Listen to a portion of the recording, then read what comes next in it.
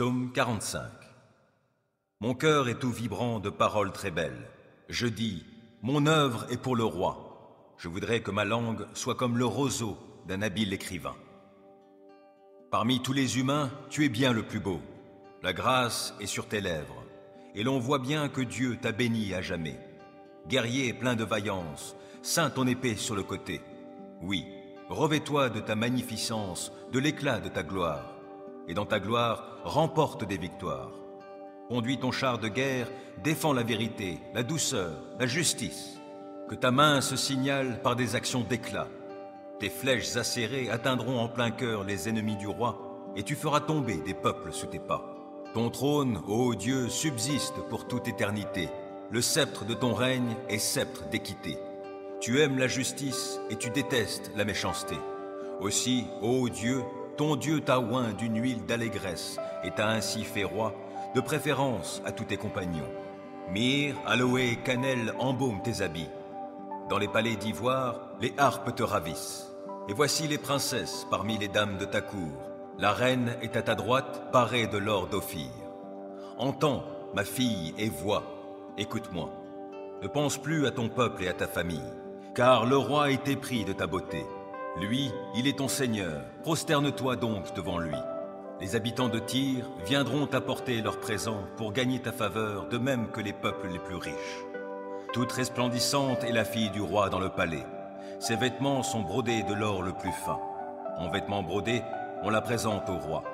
De jeunes demoiselles la suivent en cortège. On les conduit auprès de toi. On les conduit dans la joie et dans l'allégresse. Elles sont introduites dans le palais du roi. Tes fils succéderont à tes ancêtres. Tu les établiras princes pour diriger tout le pays.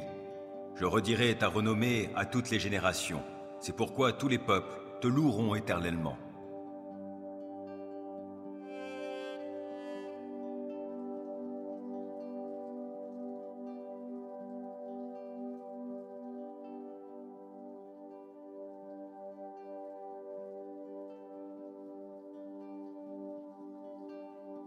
Ésaïe 61 L'Esprit de l'Éternel, du Seigneur, est sur moi, car l'Éternel m'a oint pour annoncer aux humiliés une bonne nouvelle. Oui, il m'a envoyé afin de penser ceux qui ont le cœur brisé, d'annoncer aux captifs leur délivrance et à ceux qui sont prisonniers leur mise en liberté, afin de proclamer pour l'Éternel une année de faveur et un jour de rétribution pour notre Dieu, afin de consoler tous ceux qui mènent deuil et d'apporter à ceux qui, dans Sion, sont endeuillés, la splendeur au lieu de la cendre, pour mettre sur leur tête l'huile de l'allégresse au lieu du deuil, et pour les vêtir d'habits de louange au lieu d'un esprit abattu, afin qu'on les appelle les chaînes de justice, la plantation de l'Éternel qui manifeste sa splendeur. Car ils rebâtiront les ruines d'autrefois, et ils relèveront ce qui a été dévasté par le passé. Oui, ils restaureront les villes ravagées, les habitats détruits depuis bien des générations. Des étrangers viendront s'y établir, ils feront paître vos troupeaux. Ces gens seront vos laboureurs, ils cultiveront vos vergers et vos vignes. Mais vous, on vous appellera prêtre de l'Éternel. On dira que vous êtes servants de notre Dieu. Vous jouirez des trésors des nations, et vous mettrez votre fierté dans ce qui fait leur gloire. Au lieu de votre honte, vous aurez double honneur, et au lieu de l'opprobre, vous pousserez des cris de joie à cause de la part que vous aurez. Car dans votre pays, vous recevrez un patrimoine double. Il y aura pour vous une joie éternelle. Moi, l'Éternel, moi j'aime la droiture. Je déteste le vol avec sa perfidie. Je les rétribuerai avec fidélité et je conclurai avec eux une alliance éternelle. Leurs descendants seront connus chez les nations et leur progéniture parmi les peuples. Tous ceux qui les verront reconnaîtront en eux une postérité bénie par l'Éternel. Je serai plein de joie, l'Éternel en sera la source. J'exulterai à cause de mon Dieu, parce qu'il m'aura revêtu des habits du salut et qu'il m'aura enveloppé du manteau de justice, tout comme le marié se pare d'un turban, tout comme un prêtre, et comme la mariée s'orne de ses bijoux. Comme la terre fait pousser les graines germées, et comme le jardin fait germer ses semences, ainsi le Seigneur, l'Éternel, va faire germer la justice et la louange aux yeux de tous les peuples.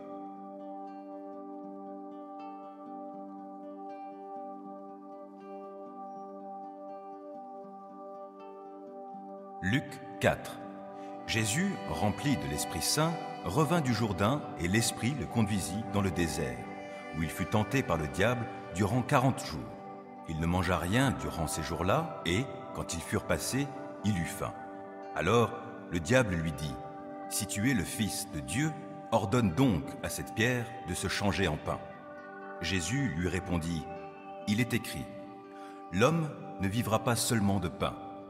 Le diable l'entraîna sur une hauteur, lui montra en un instant tous les royaumes de la terre et lui dit, Je te donnerai la domination universelle ainsi que les richesses et la gloire de ces royaumes. Car tout cela a été remis entre mes mains, et je le donne à qui je veux. Si donc tu te prosternes devant moi, tout cela sera à toi. Jésus lui répondit, Il est écrit, Tu adoreras le Seigneur, ton Dieu, et c'est à lui seul que tu rendras un culte. Le diable le conduisit ensuite à Jérusalem, le plaça tout en haut du temple et lui dit, Si tu es le Fils de Dieu, Jette-toi d'ici en bas, car il est écrit, Il donnera des ordres à ses anges à ton sujet pour qu'ils veillent sur toi. Et encore, ils te porteront sur leurs mains pour que ton pied ne heurte pas de pierre. Jésus répondit, Il est aussi écrit, Tu ne forceras pas la main au Seigneur, ton Dieu. Lorsque le diable eut achevé de le soumettre à toutes sortes de tentations, il s'éloigna de lui jusqu'au temps fixé. Jésus rempli de la puissance de l'Esprit, retourna en Galilée. Sa réputation se répandit dans toute la région. Il enseignait dans les synagogues et tous faisaient son éloge. Il se rendit aussi à Nazareth, où il avait été élevé, et il entra dans la synagogue le jour du sabbat, comme il en avait l'habitude. Il se leva pour faire la lecture biblique, et on lui présenta le rouleau du prophète Ésaïe. En déroulant le parchemin, il trouva le passage où il est écrit L'Esprit du Seigneur est sur moi, car il m'a oint pour annoncer une bonne nouvelle aux pauvres. Il m'a envoyé pour annoncer aux captifs la délivrance, aux aveugles le recouvrement de la vue, pour apporter la liberté aux opprimés et proclamer une année de faveur accordée par le Seigneur. Il roula le livre, le rendit au servant et s'assit. Dans la synagogue, tous les yeux étaient braqués sur lui. Aujourd'hui même, commença-t-il, pour vous qui l'entendez, cette prophétie de l'Écriture est devenue réalité. Aucun de ses auditeurs ne restait indifférent. Les paroles de grâce qu'il prononçait les étonnaient beaucoup. Aussi disait-il, n'est-il pas le fils de Joseph? Alors il leur dit, Vous ne manquerez pas de m'appliquer ce dicton. Médecin, guéris-toi toi-même, et vous me direz, On nous a parlé de ce que tu as accompli à Capernaum. Fais-en donc autant ici, dans ta propre ville. Et il ajouta, Vraiment, je vous l'assure, aucun prophète n'est bien accueilli dans sa patrie. Voici la vérité, je vous le déclare. Il y avait beaucoup de veuves en Israël à l'époque d'Élie, quand, pendant trois ans et demi, il n'y a pas eu de pluie et qu'une grande famine a sévi dans tout le pays. Or, Élie n'a été envoyé vers aucune d'entre elles, mais vers une veuve qui vivait à Sarepta, dans le pays de Sidon. Il y avait aussi beaucoup de lépreux en Israël au temps du prophète Élisée. Et pourtant, aucun d'eux n'a été guéri. C'est le Syrien Naaman qui l'a été. En entendant ces paroles, tous ceux qui étaient dans la synagogue se mirent en colère. Ils se levèrent, firent sortir Jésus de la ville et le menèrent jusqu'au sommet de la montagne sur laquelle elle était bâtie, afin de le précipiter dans le vide. Mais il passa au milieu d'eux et s'en alla il se rendit à Capernaum, une autre ville de la Galilée. Il y enseignait les jours de sabbat. Ses auditeurs étaient profondément impressionnés par son enseignement, car il parlait avec autorité. Dans la synagogue se trouvait un homme sous l'emprise d'un esprit mauvais et démoniaque. Il se mit à crier d'une voix puissante. Ah, que nous veux-tu, Jésus de Nazareth? Es-tu venu pour nous détruire? Je sais qui tu es.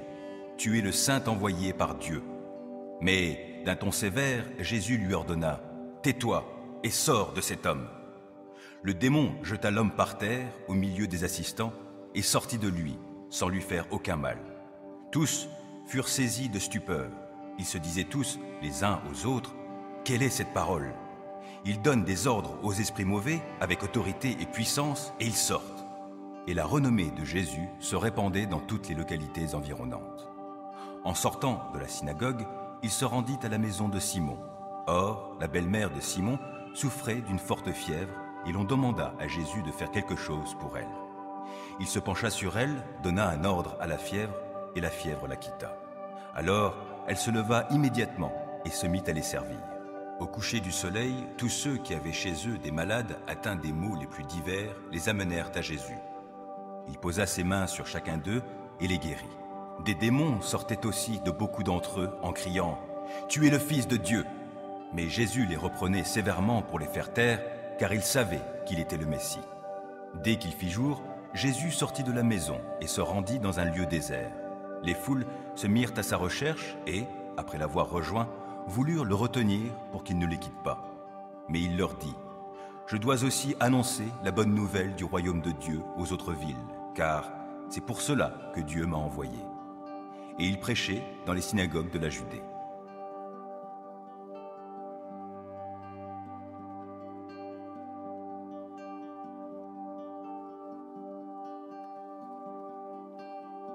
Lettre aux Hébreux, chapitre 1 À bien des reprises et de bien des manières, Dieu a parlé autrefois à nos ancêtres par les prophètes. Et maintenant, dans ces jours qui sont les derniers, il nous a parlé par le Fils. Il a fait de lui l'héritier de toutes choses, et c'est aussi par lui qu'il a créé l'univers. Ce Fils est le rayonnement de la gloire de Dieu et l'expression parfaite de son être.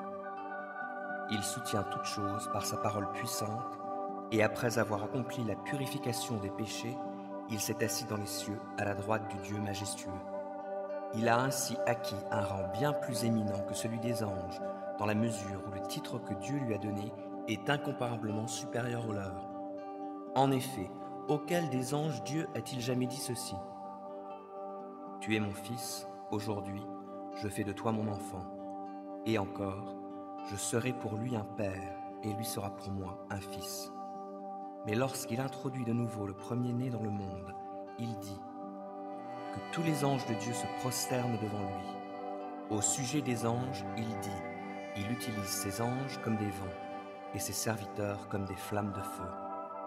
Mais au sujet du Fils, il dit, Ton trône, ô Dieu, subsiste pour toute éternité. Le sceptre de ton règne est sceptre d'équité. Tu aimes la justice et tu détestes la méchanceté.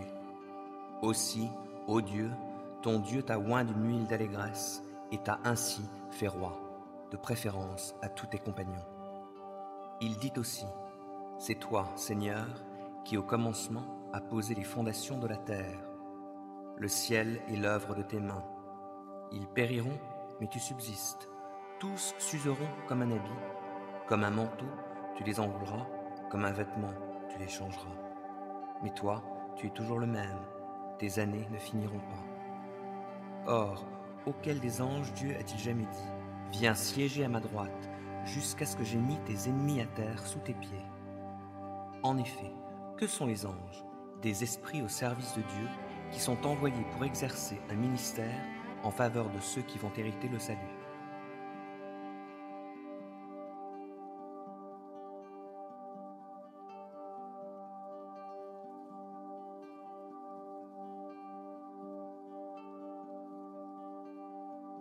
Acte des apôtres 4 Pendant qu'il parlait ainsi à la foule, survinrent quelques prêtres accompagnés du chef de la police du temple et des membres du parti des Sadducéens. Ils étaient irrités de voir les apôtres enseigner le peuple et leur annoncer que puisque Jésus était ressuscité, les morts ressusciteraient eux aussi. Ils les arrêtèrent donc, et comme il se faisait déjà tard, ils les jetèrent en prison jusqu'au lendemain. Cependant, Parmi ceux qui avaient entendu leurs paroles, beaucoup crurent, ce qui porta le nombre des croyants à près de cinq mille hommes. Le lendemain, les chefs des Juifs, les responsables du peuple et les spécialistes de la loi se réunirent à Jérusalem. Il y avait là, en particulier, Anne le grand prêtre, Caïphe, Jean, Alexandre et tous les membres de la famille du grand prêtre. Ils firent comparaître Pierre et Jean, les placèrent au milieu de leur assemblée et les interrogèrent. Par quel pouvoir ou au nom de qui avez-vous fait cela? Alors Pierre, rempli de l'Esprit Saint, leur répondit, dirigeants et responsables de notre peuple, nous sommes aujourd'hui interrogés sur le bien que nous avons fait à un infirme et sur la manière dont il a été guéri. Eh bien, sachez-le tous, et que tout le peuple d'Israël le sache, c'est au nom de Jésus-Christ de Nazareth que nous avons agi, de ce Jésus que vous avez crucifié et que Dieu a ressuscité. C'est grâce à lui que cet homme se tient là, debout devant vous, en bonne santé. Il est la pierre rejetée par les constructeurs, par vous, et qui est devenue la pierre principale, la pierre d'angle. C'est en lui seul que se trouve le salut. Dans le monde entier, Dieu n'a jamais donné le nom d'aucun autre homme par lequel nous devions être sauvés. Les membres du Grand Conseil étaient étonnés de voir l'assurance de Pierre et de Jean, car ils se rendaient compte que c'étaient des gens simples et sans instruction. Ils les reconnaissaient pour avoir été avec Jésus. Mais comme ils voyaient, debout à côté d'eux, l'homme qui avait été guéri, ils ne trouvaient rien à répondre. Alors ils leur ordonnèrent de sortir de la salle et délibérèrent entre eux. Qu'allons-nous faire de ces gens-là disaient-ils, car ils ont accompli un signe miraculeux évident, et tous les habitants de Jérusalem sont au courant. Nous ne pouvons pas le nier. Mais il ne faut pas que cela s'ébruite davantage parmi le peuple. Défendons-leur donc, sous peine de sanction, de parler désormais à qui que ce soit au nom de Jésus. Là-dessus, ils les firent rappeler et leur interdirent formellement de parler ou d'enseigner au nom de Jésus. Mais Pierre et Jean leur répondirent, Jugez-en vous-même, est-il juste devant Dieu de vous obéir plutôt qu'à Dieu? Quant à nous, nous ne pouvons pas garder le silence sur ce que nous avons vu et entendu. Après leur avoir fait de nouvelles menaces, ils les relâchèrent. En effet, ils n'avaient pas trouvé de moyen de les punir, parce que tout le peuple louait Dieu pour ce qui venait d'arriver. L'homme qui avait été miraculeusement guéri était âgé de plus de quarante ans. Sitôt libérés, Pierre et Jean se rendirent auprès de leurs amis et leur racontèrent tout ce que les chefs des prêtres et les responsables du peuple leur avaient dit. Après les avoir écoutés, tous, unanimes, se mirent à prier Dieu, disant Maître, c'est toi qui as créé le ciel, la terre, la mer et tout ce qui s'y trouve. C'est toi qui as dit par l'Esprit Saint qui s'est exprimé par la bouche de notre ancêtre David, ton serviteur, pourquoi tant d'effervescence parmi les nations? Et pourquoi les peuples trament-ils ces complots inutiles? Les rois de la terre se sont soulevés et les chefs se sont ligués contre le Seigneur et son Messie. En effet, c'est bien une ligue qu'Hérode et Ponce Pilate, les peuples étrangers et les peuples d'Israël ont formé dans cette ville contre ton saint serviteur Jésus que tu as choisi comme Messie. Ils n'ont fait qu'accomplir tout ce que tu avais décidé d'avance dans ta puissance et ta volonté. Maintenant, Seigneur, vois comme ils nous menacent et donne à tes serviteurs la force d'annoncer ta parole avec une pleine assurance. Étends ta main pour qu'il se produisent des guérisons, des miracles et d'autres signes au nom de ton saint serviteur Jésus. Quand ils eurent fini de prier, la terre se mit à trembler sous leurs pieds, à l'endroit où ils étaient assemblés. Ils furent tous remplis du Saint-Esprit et annonçaient la parole de Dieu avec assurance. Tous ceux qui étaient devenus des croyants vivaient dans une parfaite unité de cœur et d'esprit.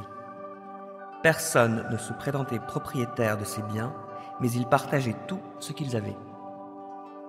Avec une grande puissance, les apôtres rendaient témoignage de la résurrection du Seigneur Jésus, et la grâce de Dieu agissait avec force en eux tous. Aucun d'eux n'était dans le besoin, car ceux qui possédaient des champs ou des maisons les vendaient, apportaient le produit de la vente et le remettaient aux apôtres. Ceux-ci le répartissaient alors entre tous, et chacun recevait ce dont il avait besoin. C'est ainsi que, par exemple, un certain Joseph possédait un terrain. C'était un lévite originaire de Chypre. Les apôtres le surnommaient Barnabas, ce qui veut dire l'homme qui encourage. Il vendit son terrain, apporta l'argent et en remit le produit aux apôtres.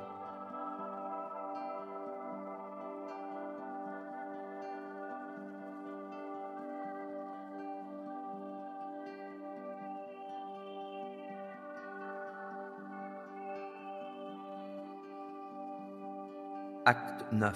Saul, qui ne pensait qu'à menacer et à tuer les disciples du Seigneur, se rendit chez le grand prêtre et lui demanda des lettres de recommandation pour les synagogues de Damas. Ces lettres l'autorisaient, s'il trouvait là-bas des hommes ou des femmes qui suivaient la voie du Seigneur, à les arrêter et à les amener à Jérusalem. Il se dirigeait donc vers Damas et approchait déjà de cette ville quand soudain il fut environné d'une lumière éclatante qui venait du ciel. Il tomba à terre et entendit une voix qui lui disait Saul, Saul, pourquoi me persécutes-tu? Qui es-tu, Seigneur? demanda-t-il. La voix reprit Je suis, moi, Jésus, que tu persécutes. Mais relève-toi, entre dans la ville, et là on te dira ce que tu dois faire. Ses compagnons de voyage restèrent figés sur place, muets de stupeur. Ils entendaient bien la voix, mais ne voyaient personne. Saul se releva de terre, mais il avait beau ouvrir les yeux, il ne voyait plus. Il fallut le prendre par la main pour le conduire à Damas. Il resta aveugle pendant trois jours et ne mangea ni ne but. Or, à Damas vivait un disciple nommé Anania. Le Seigneur lui apparut dans une vision et lui dit Anania. Oui, Seigneur, répondit-il. Et le Seigneur lui dit Lève-toi et va dans la rue que l'on appelle la rue droite, et dans la maison de Judas, demande à voir un nommé Saul, originaire de Tars. Car il prit, et dans une vision, il a vu un homme du nom d'Anania entrer dans la maison et lui imposer les mains pour lui rendre la vue. Mais Seigneur, répliqua Anania, j'ai beaucoup entendu parler de cet homme. De plusieurs côtés, on m'a dit tout le mal qu'il a fait aux membres de ton peuple saint à Jérusalem. De plus, il est venu ici muni de pouvoir que lui ont accordé les chefs des prêtres pour arrêter tous ceux qui te prient. Mais le Seigneur lui dit, Va, car j'ai choisi cet homme pour me servir. Il fera connaître qui je suis aux peuples étrangers et à leurs rois, ainsi qu'aux Israélites. Je lui montrerai moi-même tout ce qu'il devra souffrir pour moi. Anania partit donc, et arrivé dans la maison, il imposa les mains à Saul et lui dit, Saul, mon frère, le Seigneur Jésus, qui t'est apparu sur le chemin par lequel tu venais, m'a envoyé pour que la vue te soit rendue et que tu sois rempli du Saint-Esprit. Au même instant, ce fut comme si des écailles tombaient des yeux de Saul et il vit de nouveau. Alors il se leva et fut baptisé, puis il mangea et reprit les forces. Saul passa quelques jours parmi les disciples de Damas, et dans les synagogues, il se mit tout de suite à proclamer que Jésus est le Fils de Dieu. Ses auditeurs n'en revenaient pas. Tous disaient, Voyons, n'est-ce pas lui qui s'acharnait à Jérusalem contre ceux qui, dans leurs prières, invoquent ce nom-là? N'est-il pas venu ici exprès pour les arrêter et les ramener au chef des prêtres? Mais Saul s'affermissait de jour en jour dans la foi, et les Juifs qui habitaient à Damas ne savaient plus que dire, car il leur démontrait que Jésus est le Messie. Après un certain temps, les Juifs résolurent de le faire mourir. Saul eut vent de leur complot. Jour et nuit, il faisait même surveiller les portes de la ville avec l'intention de le tuer. Mais une nuit, les disciples qui l'enseignaient l'emmenèrent et le firent descendre dans une corbeille le long du rempart. À son arrivée à Jérusalem, il essaya de se joindre aux disciples. Mais tous avaient peur de lui, car ils ne croyaient pas qu'il fût vraiment devenu un disciple. Barnabas le prit avec lui, le conduisit auprès des apôtres et leur raconta comment, sur le chemin de Damas, Saul avait vu le Seigneur, comment le Seigneur lui avait parlé et avec quel courage il avait prêché à Damas au nom de Jésus. Dès lors, il se joignit à eux, allant et venant avec eux à Jérusalem, et parlant ouvertement au nom du Seigneur. Il avait aussi beaucoup d'entretiens et de discussions avec les Juifs de culture grecque, mais ceux-là aussi cherchèrent à le faire mourir. Quand les frères l'apprirent, ils le conduisirent jusqu'à Césarée, et de là, le firent partir pour Tars. Dans toute la Judée, la Galilée et la Samarie, l'Église jouissait alors de la paix. Elle grandissait dans la foi, vivait dans l'obéissance au Seigneur et s'accroissait en nombre grâce au soutien du Saint-Esprit. Pierre, qui parcourait tout le pays, passa aussi chez les membres du peuple saint qui habitaient à Lydda. Il y trouva un homme du nom d'Aîné, qui n'avait pas quitté son lit depuis huit ans parce qu'il était paralysé. Aîné, lui dit Pierre, Jésus-Christ te guérit, lève-toi et fais ton lit. Il se leva aussitôt.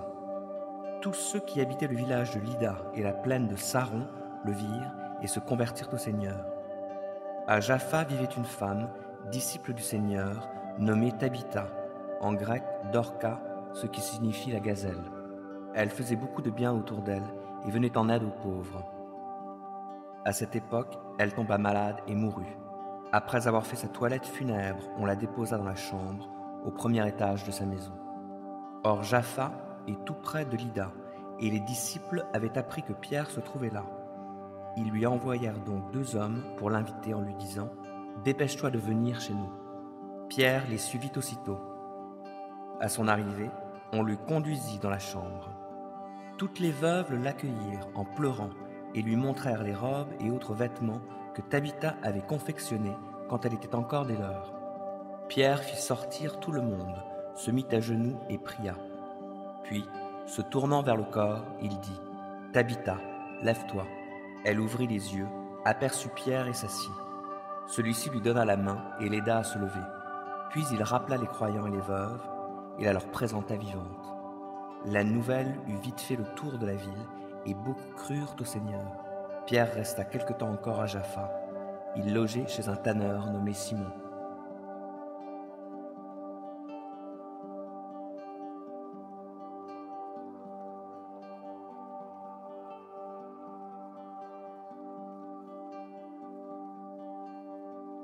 Première lettre de Jean 2. Mes chers enfants, je vous écris ceci afin que vous ne péchiez pas. Si toutefois il arrivait à quelqu'un de commettre un péché, nous avons un défenseur auprès du Père, Jésus-Christ le juste. Car il a expié nos péchés, et pas seulement les nôtres, mais ceux de gens du monde entier. Voici comment nous savons que nous connaissons Christ. C'est parce que nous obéissons à ses commandements. Si quelqu'un dit ⁇ Je le connais ⁇ sans obéir à ses commandements, c'est un menteur, et la vérité n'est pas en lui. Celui qui observe sa parole a vraiment pour Dieu un amour parvenu à sa pleine maturité. C'est ainsi que nous savons que nous sommes unis à lui.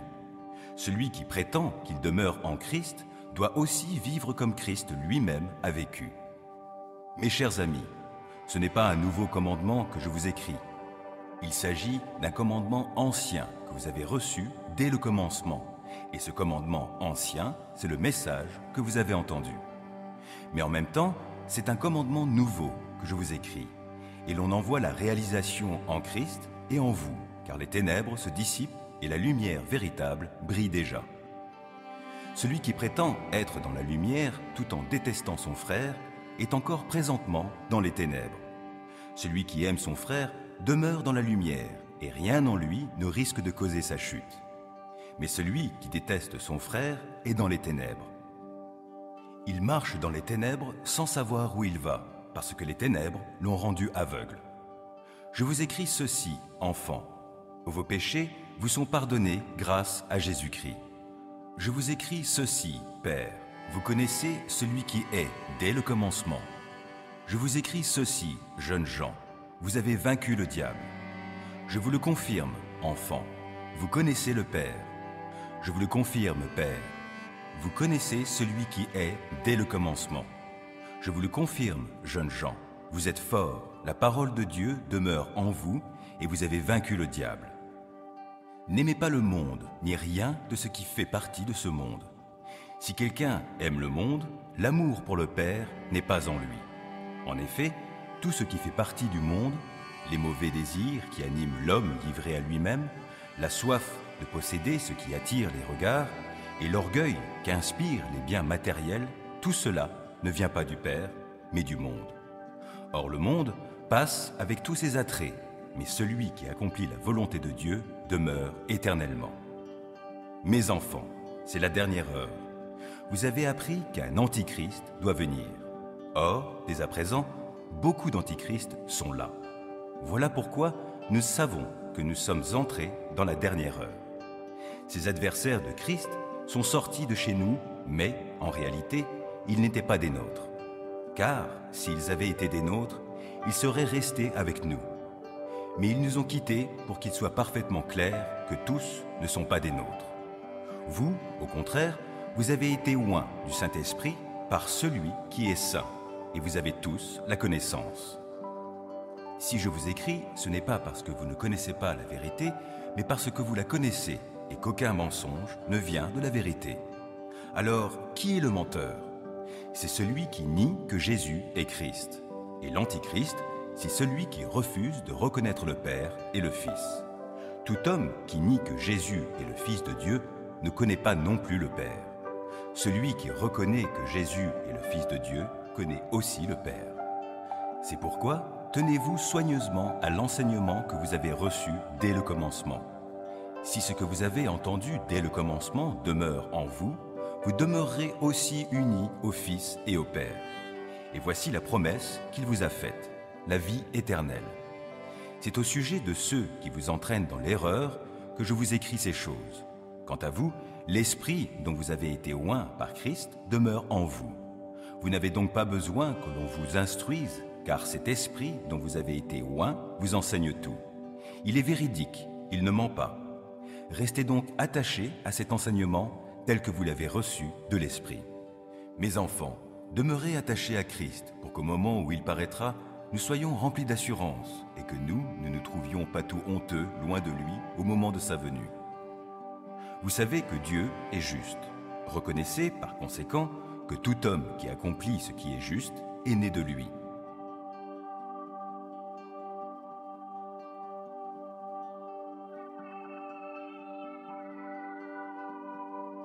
Psaume 92 Il est bon de louer l'Éternel de te célébrer par des chants, ô Très-Haut, et de proclamer dès le point du jour ton amour, tout au long des nuits ta fidélité, sur la cithare à dix cordes, sur le luth et sur la lyre. Ce que tu fais, Éternel, me remplit de joie, et j'acclamerai les ouvrages de tes mains. Que tes œuvres sont grandioses, Éternel, que tes pensées sont profondes. L'insensé n'y connaît rien, le sot ne peut les comprendre. Si les malfaisants croissent comme l'herbe, si tous les méchants sont si florissants, c'est pour périr à jamais. Mais toi, tu es tout là-haut, éternel, pour toujours. Car voici tes ennemis, éternel, car voici tes ennemis périssent, et tous ceux qui font le mal seront dispersés. Mais tu me remplis de force, je suis comme un buffle, je me suis enduit d'huile fraîche. Je regarde tous mes détracteurs, j'entends tous mes adversaires qui s'emploient au mal. Car les justes poussent comme le palmier, ils grandissent comme un cèdre du Liban. Bien plantés dans la demeure de l'Éternel, ils fleurissent sur les parvis du temple de notre Dieu. Ils seront féconds jusqu'en leur vieillesse, et ils resteront pleins de sève et de vigueur. Ils proclameront combien l'Éternel est droit. Il est mon rocher, on ne trouve en lui aucune injustice.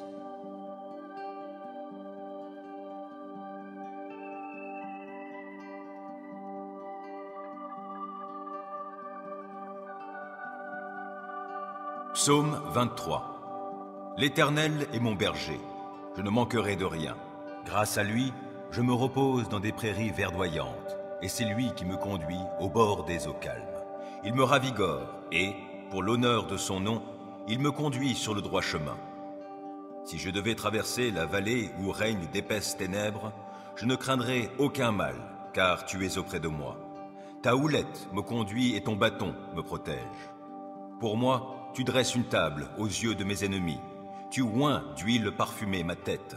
Tu fais déborder ma coupe. Oui, toute ma vie, ta bonté et ton amour me poursuivront, et je pourrai retourner au sanctuaire de l'Éternel tant que je vivrai.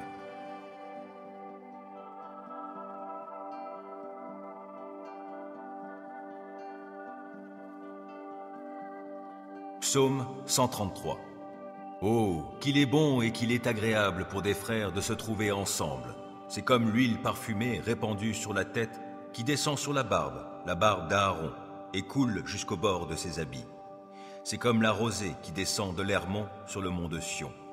C'est là que l'Éternel accorde sa bénédiction et la vie pour toujours.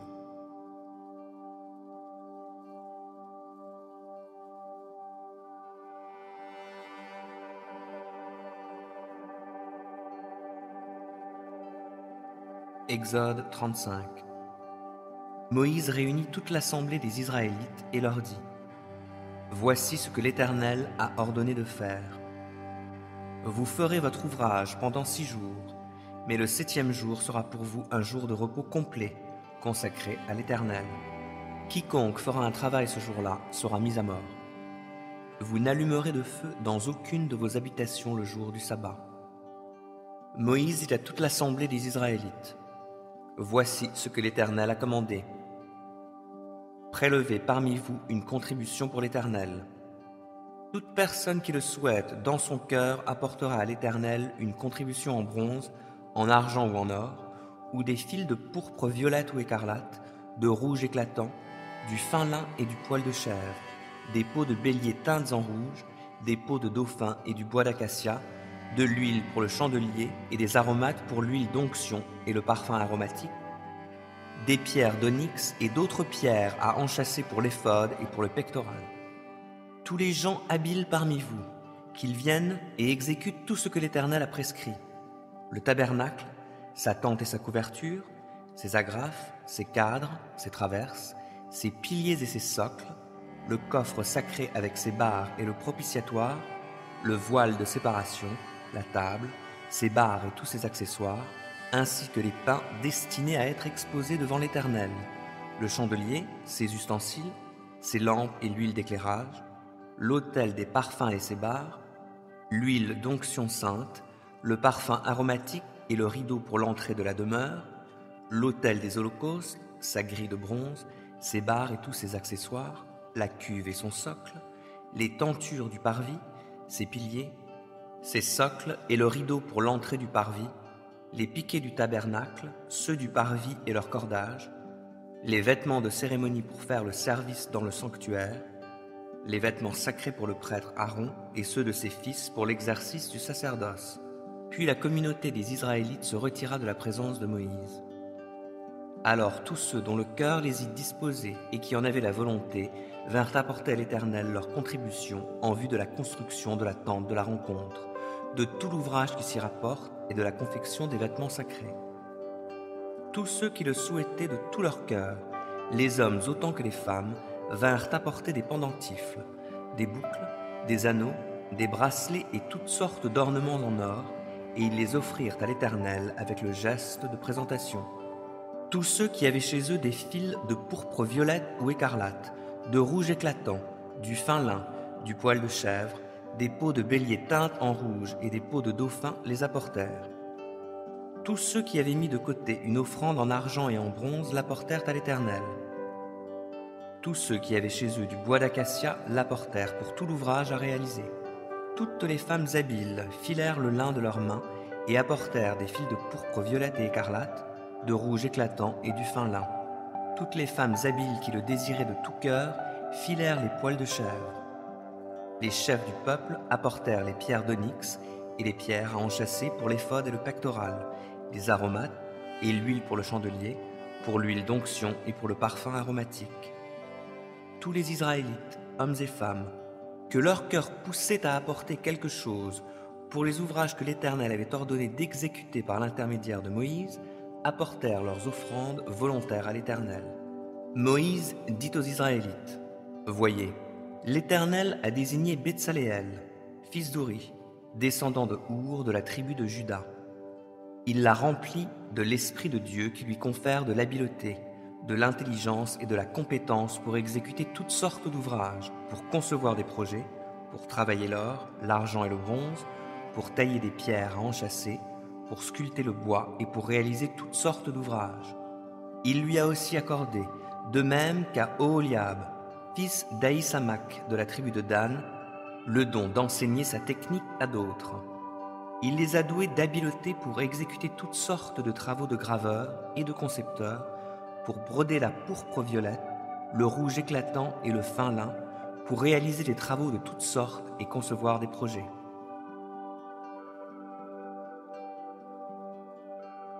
Deutéronome 28.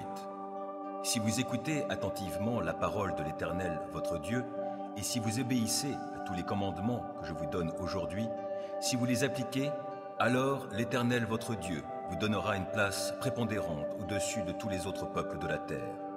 Si vous obéissez à l'Éternel, votre Dieu, voici toutes les bénédictions dont Dieu vous comblera. Vous jouirez de ces bénédictions à la ville comme au champ. Il vous bénira en vous donnant de nombreux enfants et d'abondantes récoltes, en multipliant le nombre de vos bœufs, de vos moutons et de vos chèvres. Il vous bénira en remplissant votre corbeille et votre pétrin. Il vous bénira lors de vos allées et venues, au départ comme à l'arrivée. L'Éternel mettra en déroute les ennemis qui vous attaqueront. S'ils marchent contre vous par un seul chemin, ils s'enfuiront en débandade en tous sens. L'Éternel vous bénira en remplissant vos greniers et en faisant réussir tout ce que vous entreprendrez. Oui, l'Éternel votre Dieu vous bénira dans le pays qu'il vous donnera. Si vous obéissez aux commandements de l'Éternel votre Dieu, et si vous suivez les chemins qu'il vous a prescrits, il fera de vous un peuple saint pour lui, comme il l'a promis par serment. Tous les peuples de la terre verront alors que l'Éternel est invoqué en votre faveur, et ils vous craindront. L'Éternel vous comblera de bien dans le pays qu'il a promis par serment à vos ancêtres de vous donner. Il vous accordera de nombreux enfants, multipliera vos troupeaux et vous donnera des récoltes abondantes. L'Éternel ouvrira pour vous son bon trésor céleste pour donner en temps voulu la pluie nécessaire aux terres et pour bénir tout travail que vous accomplirez. Vous prêterez à de nombreux peuples et vous n'aurez vous-même pas besoin d'emprunter. L'Éternel vous fera tenir le premier rang parmi les peuples, jamais le dernier.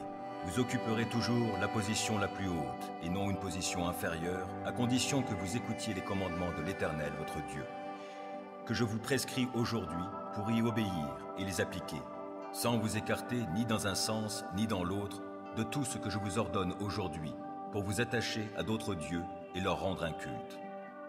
Par contre, si vous n'obéissez pas à l'Éternel votre Dieu, si vous ne veillez pas à appliquer tous ces commandements et ces lois que je vous transmets moi-même aujourd'hui, voici quelles malédictions fondront sur vous. Vous serez maudits à la ville comme au champ. La malédiction reposera sur votre corbeille à fruits et sur votre pétrin. Dieu maudira vos enfants et vos récoltes, et les portées de vos troupeaux, de gros et de petits bétails. Maudits serez-vous dans vos allées et venues, au départ comme à l'arrivée. L'Éternel déchaînera contre vous la misère, le désordre et la ruine dans tout ce que vous entreprendrez et que vous exécuterez, jusqu'à ce que vous soyez complètement détruits, et vous ne tarderez pas à disparaître, parce que vous m'aurez abandonné et que vous aurez commis de mauvaises actions. L'Éternel vous enverra une épidémie de peste qui finira par vous éliminer du pays dans lequel vous allez entrer pour en prendre possession. Il vous frappera de maladies qui vous feront dépérir, des fièvres et des inflammations de toute nature. Il frappera aussi vos champs par la sécheresse, la rouille et le charbon. Tous ces fléaux vous poursuivront jusqu'à ce que vous disparaissiez. Le ciel au-dessus de vos têtes sera aussi dur que du bronze, et la terre sous vos pieds sera comme du fer. Au lieu de pluie, l'Éternel enverra sur votre pays de la poussière et du sable, qui tomberont du ciel sur vous jusqu'à ce que vous soyez exterminés. Il vous mettra en déroute devant vos ennemis. Si vous marchez contre eux par un seul chemin, vous fuirez devant eux en débandade en tous sens. En voyant ce qui vous arrivera, tous les royaumes de la terre seront terrifiés. Vos cadavres serviront de pâture aux rapaces et aux fauves que personne ne viendra déranger. L'Éternel vous affligera d'ulcères comme les Égyptiens, d'hémorroïdes, de gales et de pustules incurables. Il vous frappera de folie, d'aveuglement et d'égarement d'esprit, au point que vous tâtonnerez en plein jour comme des aveugles dans l'obscurité. Aucune de vos entreprises ne réussira. Tous les jours, vous serez exploités et dépouillés sans personne pour vous délivrer. Si un homme se fiance, un autre homme épousera sa fiancée. Si quelqu'un bâtit une maison, il ne s'y installera pas. S'il plante une vigne, il n'en recueillera pas les fruits. Vos bœufs seront abattus sous vos yeux, et vous n'en mangerez pas la viande. Vos ânes seront volés devant vous, et ne vous seront jamais restitués. Vos moutons et vos chèvres tomberont entre les mains de vos ennemis, et personne ne viendra à votre secours. Vos fils et vos filles seront livrés à un peuple étranger. Vos yeux s'épuiseront à force de guetter leur retour jour après jour, mais vous n'y pourrez rien. Un peuple que vous ne connaissez pas mangera les produits de votre terre et tout le produit de votre travail. Vous serez continuellement exploité et maltraité. À force de voir ce qui se présentera sous vos yeux, vous en perdrez la raison. L'Éternel vous frappera d'ulcères malins incurables aux genoux et aux cuisses, qui vous gagneront tout le corps, de la plante des pieds au sommet de la tête. L'Éternel vous exilera, avec le roi que vous aurez établi sur vous, chez un peuple que ni vous, ni vos ancêtres n'auront connu. Et là, vous serez asservis à d'autres dieux qui ne sont que du bois et de la pierre. Tous les peuples chez lesquels l'Éternel vous aura mené seront abasourdis de votre sort. Vous serez le sujet de leur moquerie et ils vous tourneront en dérision. Vous sèmerez beaucoup de grains dans vos champs, mais vous ferez de maigres récoltes, car les sauterelles auront tout dévasté. Vous planterez des vignes et vous y travaillerez, mais vous n'en boirez pas le vin, et vous n'aurez rien à y récolter, car les chenilles auront tout dévoré. Vous posséderez des oliviers sur tout votre territoire, mais vous n'en récolterez même pas assez d'huile pour enduire votre corps, car vos olives seront tombées avant d'être mûres. Vous donnerez naissance à des fils et des filles, mais vous ne les garderez pas avec vous, car ils s'en iront en captivité. Les criquets dévasteront tous vos arbres et mangeront les produits de vos terres. Les immigrés qui vivront parmi vous parviendront de plus en plus à une position au-dessus de la vôtre, tandis que vous déclinerez de plus en plus. Ce sont eux qui vous prêteront alors que vous, vous n'aurez plus rien à leur prêter. Ils seront au premier rang et vous au dernier. Toutes ces malédictions fondront sur vous, vous poursuivront et vous atteindront jusqu'à ce que vous soyez exterminés, parce que vous n'aurez pas obéi à l'Éternel votre Dieu en observant les commandements et les lois qu'il vous a donnés. Ils seront pour vous et vos descendants un signe d'avertissement à jamais. Si vous ne servez pas l'Éternel votre Dieu avec la joie et le bonheur au cœur au sein de l'abondance en toutes choses, vous serez asservis aux ennemis que l'Éternel enverra contre vous. Vous aurez faim et soif, vous manquerez de vêtements et vous serez privés de tout. L'Éternel placera un joug de fer sur vos épaules jusqu'à ce qu'il vous ait détruit. Il lancera contre vous, depuis les confins du monde, un peuple lointain, dont vous ne comprendrez pas la langue, il fondra sur vous comme un aigle sur sa proie. Ce sera un peuple d'hommes au visage dur, sans respect pour le vieillard, ni pitié pour les enfants. Ils dévoreront votre bétail et les produits de votre sol jusqu'à ce que vous soyez exterminés. Vous mourrez de faim, car ils ne vous laisseront ni blé, ni vin, ni huile, ni veau, ni agneau, ni chevreau, jusqu'à ce qu'ils vous aient fait périr. Ils assiégeront vos villes jusqu'à ce que s'écroulent dans tout votre territoire les hautes murailles fortifiées dans lesquelles vous aurez mis votre confiance. Ils assiégeront toutes les villes du pays que l'Éternel votre Dieu vous donne. Pendant le siège, vos ennemis vous réduiront à une telle détresse que vous en viendrez à manger vos propres enfants. Oui, vous dévorerez la chair des fils et des filles que l'Éternel votre Dieu vous aura donnés. L'homme le plus délicat et le plus raffiné parmi vous regardera avec malveillance son frère, sa femme qui l'aura serré contre son cœur et les enfants qui lui resteront encore, de peur d'avoir à partager avec eux la chair de ses enfants, seule nourriture dont il disposera encore, dans la détresse à laquelle vos ennemis vous auront réduit en assiégeant toutes vos villes. La femme la plus délicate et la plus raffinée parmi vous, celle qui était si délicate et si raffinée qu'elle ne se risquait même pas à poser la plante du pied sur le sol, regardera avec malveillance le mari qu'elle a serré contre son cœur, son fils et sa fille, car elle voudra manger toute seule, en cachette, le bébé qu'elle vient de mettre au monde, et son placenta dont elle sera juste délivrée à cause de la détresse à laquelle vous auront réduit vos ennemis en assiégeant toutes vos villes. Si vous ne veillez pas avec soin à appliquer toutes les paroles de cette loi consignée dans ce livre, pour craindre celui qui est glorieux et redoutable, c'est-à-dire l'Éternel votre Dieu, alors l'Éternel interviendra de façon prodigieuse pour vous frapper, vous et vos descendants, de plaies intenses et tenaces. Il vous infligera des maladies graves et persistantes. Il déchaînera contre vous toutes ces plaies d'Égypte que vous avez redoutées, et elles s'attacheront à vous. De plus, il vous enverra toutes sortes de maladies et de fléaux qui ne sont pas mentionnés dans ce livre de la loi, jusqu'à ce que vous soyez exterminés. Après avoir été aussi nombreux que les étoiles du ciel, vous ne serez plus qu'une poignée d'hommes, parce que vous n'aurez pas obéi à l'Éternel votre Dieu. Il arrivera donc qu'autant l'Éternel s'était plu à vous combler et à vous multiplier, autant il prendra plaisir à vous faire périr et disparaître. Ainsi, vous serez arrachés du pays où vous allez entrer pour en prendre possession, et l'Éternel vous dispersera parmi tous les peuples d'un bout de la terre à l'autre. Là, vous serez asservis à d'autres dieux que ni vous, ni vos ancêtres n'auraient connus, des dieux de bois et de pierre. Même au milieu de ces peuples étrangers, vous ne trouverez ni tranquillité, ni lieu où vous installer pour mener une existence paisible. L'Éternel vous donnera là un cœur inquiet et des yeux éteints. Le découragement vous rongera, votre avenir sera très incertain, vous connaîtrez nuit et jour la peur, vous n'aurez aucune assurance pour votre vie. La terreur envahira votre cœur à cause de tout ce que vous aurez constamment sous les yeux, de sorte que le matin vous direz, si seulement c'était le soir. Et le soir, quand donc viendra le matin? L'Éternel vous fera reprendre le chemin de l'Égypte sur des bateaux, alors qu'il vous avait dit que vous ne la reverriez plus jamais. Là, vous vous offrirez vous-même comme esclave à vos ennemis, mais personne ne voudra vous acheter. Voici les paroles de l'alliance que l'Éternel ordonna à Moïse de conclure avec les Israélites dans le pays de Moab, en plus de l'alliance qu'il avait conclue avec eux au mont Horeb.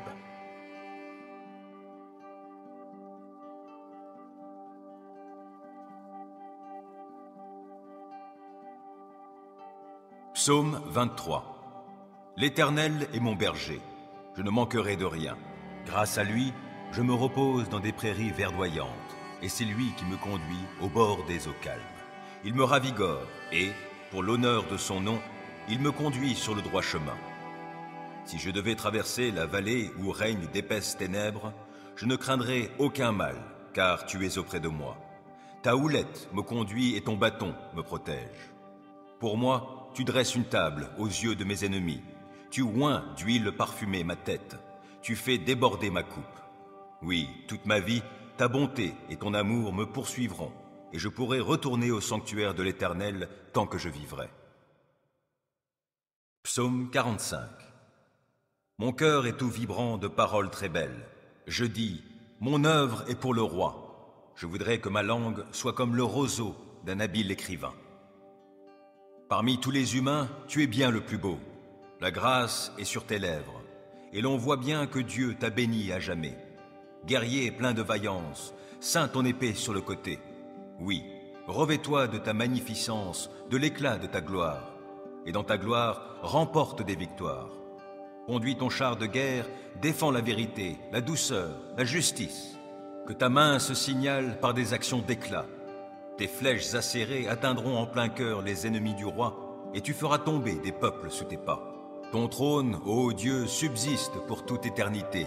Le sceptre de ton règne est sceptre d'équité. Tu aimes la justice et tu détestes la méchanceté. Aussi, ô Dieu, ton Dieu t'a oint d'une huile d'allégresse et t'a ainsi fait roi, de préférence à tous tes compagnons. Myrrhe, aloé, cannelle embaument tes habits.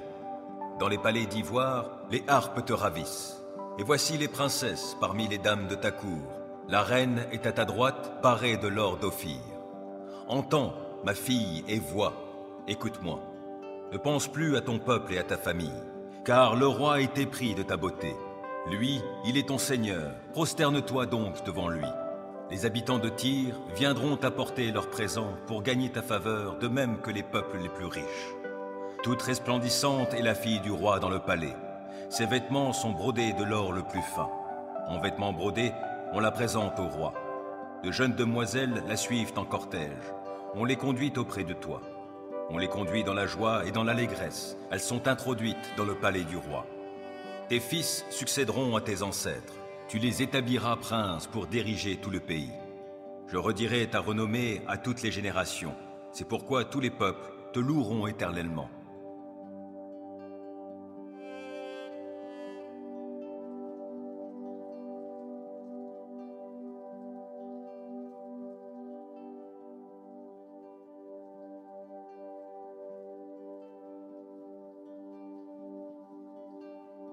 Ésaïe 61 L'Esprit de l'Éternel, du Seigneur, est sur moi, car l'Éternel m'a oint pour annoncer aux humiliés une bonne nouvelle.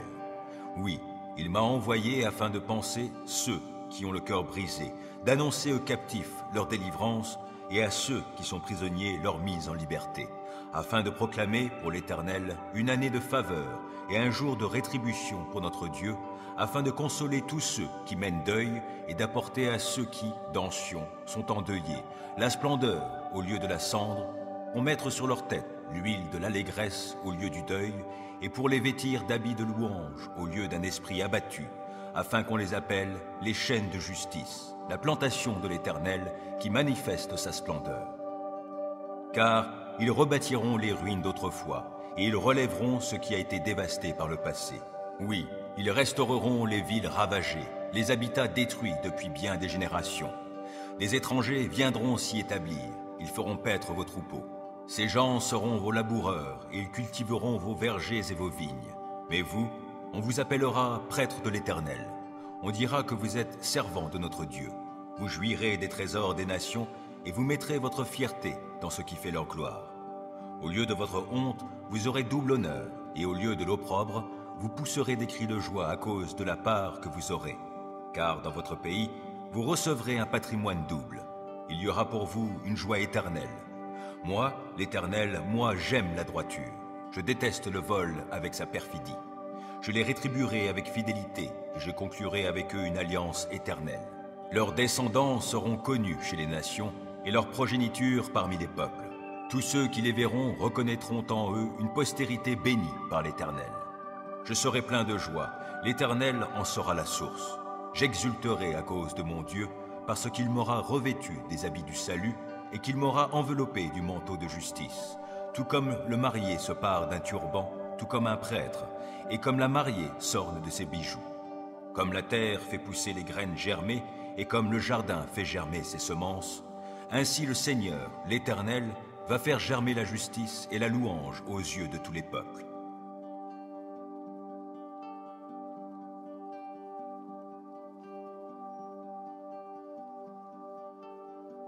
Luc 4 Jésus, rempli de l'Esprit Saint, revint du Jourdain et l'Esprit le conduisit dans le désert, où il fut tenté par le diable durant quarante jours. Il ne mangea rien durant ces jours-là, et, quand ils furent passés, il eut faim. Alors le diable lui dit, Si tu es le Fils de Dieu, ordonne donc à cette pierre de se changer en pain. Jésus lui répondit, Il est écrit, L'homme ne vivra pas seulement de pain. Le diable l'entraîna sur une hauteur, lui montra en un instant tous les royaumes de la terre et lui dit, Je te donnerai la domination universelle ainsi que les richesses et la gloire de ces royaumes. Car tout cela a été remis entre mes mains, et je le donne à qui je veux. Si donc tu te prosternes devant moi, tout cela sera à toi. Jésus lui répondit, Il est écrit, Tu adoreras le Seigneur, ton Dieu, et c'est à lui seul que tu rendras un culte. Le diable le conduisit ensuite à Jérusalem, le plaça tout en haut du temple et lui dit, Si tu es le Fils de Dieu, Jette-toi d'ici en bas, car il est écrit, Il donnera des ordres à ses anges à ton sujet pour qu'ils veillent sur toi. Et encore, ils te porteront sur leurs mains pour que ton pied ne heurte pas de pierre. Jésus répondit, Il est aussi écrit, Tu ne forceras pas la main au Seigneur, ton Dieu.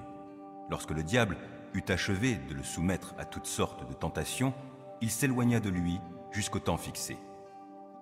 Jésus rempli de la puissance de l'Esprit, retourna en Galilée. Sa réputation se répandit dans toute la région. Il enseignait dans les synagogues et tous faisaient son éloge. Il se rendit aussi à Nazareth, où il avait été élevé, et il entra dans la synagogue le jour du sabbat, comme il en avait l'habitude. Il se leva pour faire la lecture biblique, et on lui présenta le rouleau du prophète Ésaïe. En déroulant le parchemin, il trouva le passage où il est écrit L'Esprit du Seigneur est sur moi, car il m'a oint pour annoncer une bonne nouvelle aux pauvres. Il m'a envoyé pour annoncer aux captifs la délivrance, aux aveugles le recouvrement de la vue, pour apporter la liberté aux opprimés et proclamer une année de faveur accordée par le Seigneur. Il roula le livre, le rendit aux servants et s'assit. Dans la synagogue, tous les yeux étaient braqués sur lui. Aujourd'hui même, commença-t-il, pour vous qui l'entendez, cette prophétie de l'Écriture est devenue réalité. Aucun de ses auditeurs ne restait indifférent. Les paroles de grâce qu'il prononçait les étonnaient beaucoup. Aussi disait-il, n'est-il pas le fils de Joseph? Alors il leur dit, Vous ne manquerez pas de m'appliquer ce dicton. Médecin, guéris-toi toi-même, et vous me direz, On nous a parlé de ce que tu as accompli à Capernaum. Fais-en donc autant ici, dans ta propre ville. Et il ajouta, Vraiment, je vous l'assure, aucun prophète n'est bien accueilli dans sa patrie. Voici la vérité, je vous le déclare. Il y avait beaucoup de veuves en Israël à l'époque d'Élie, quand, pendant trois ans et demi, il n'y a pas eu de pluie et qu'une grande famine a sévi dans tout le pays. Or, Élie n'a été envoyé vers aucune d'entre elles, mais vers une veuve qui vivait à Sarepta, dans le pays de Sidon. il y avait aussi beaucoup de lépreux en Israël au temps du prophète Élisée. Et pourtant, aucun d'eux n'a été guéri. C'est le Syrien Naaman qui l'a été. En entendant ces paroles, tous ceux qui étaient dans la synagogue se mirent en colère. Ils se levèrent, firent sortir Jésus de la ville et le menèrent jusqu'au sommet de la montagne sur laquelle elle était bâtie, afin de le précipiter dans le vide. Mais il passa au milieu d'eux et s'en alla. Il se rendit à Capernaum, une autre ville de la Galilée. Il y enseignait les jours de sabbat. Ses auditeurs étaient profondément impressionnés par son enseignement, car il parlait avec autorité. Dans la synagogue se trouvait un homme sous l'emprise d'un esprit mauvais et démoniaque. Il se mit à crier d'une voix puissante. Ah, que nous veux-tu, Jésus de Nazareth? Es-tu venu pour nous détruire? Je sais qui tu es. Tu es le saint envoyé par Dieu. Mais d'un ton sévère, Jésus lui ordonna, Tais-toi et sors de cet homme. Le démon jeta l'homme par terre au milieu des assistants et sortit de lui, sans lui faire aucun mal. Tous furent saisis de stupeur. Ils se disaient tous, les uns aux autres, Quelle est cette parole? Il donne des ordres aux esprits mauvais avec autorité et puissance, et ils sortent. Et la renommée de Jésus se répandait dans toutes les localités environnantes. En sortant de la synagogue, il se rendit à la maison de Simon. Or, la belle-mère de Simon souffrait d'une forte fièvre et l'on demanda à Jésus de faire quelque chose pour elle. Il se pencha sur elle, donna un ordre à la fièvre et la fièvre la quitta. Alors, elle se leva immédiatement et se mit à les servir. Au coucher du soleil, tous ceux qui avaient chez eux des malades atteints des maux les plus divers les amenèrent à Jésus. Il posa ses mains sur chacun d'eux et les guérit. Des démons sortaient aussi de beaucoup d'entre eux en criant ⁇ Tu es le Fils de Dieu !⁇ Mais Jésus les reprenait sévèrement pour les faire taire, car il savait qu'il était le Messie. Dès qu'il fit jour, Jésus sortit de la maison et se rendit dans un lieu désert. Les foules se mirent à sa recherche et, après l'avoir rejoint, voulurent le retenir pour qu'il ne les quitte pas. Mais il leur dit, Je dois aussi annoncer la bonne nouvelle du royaume de Dieu aux autres villes, car c'est pour cela que Dieu m'a envoyé et il prêchait dans les synagogues de la Judée.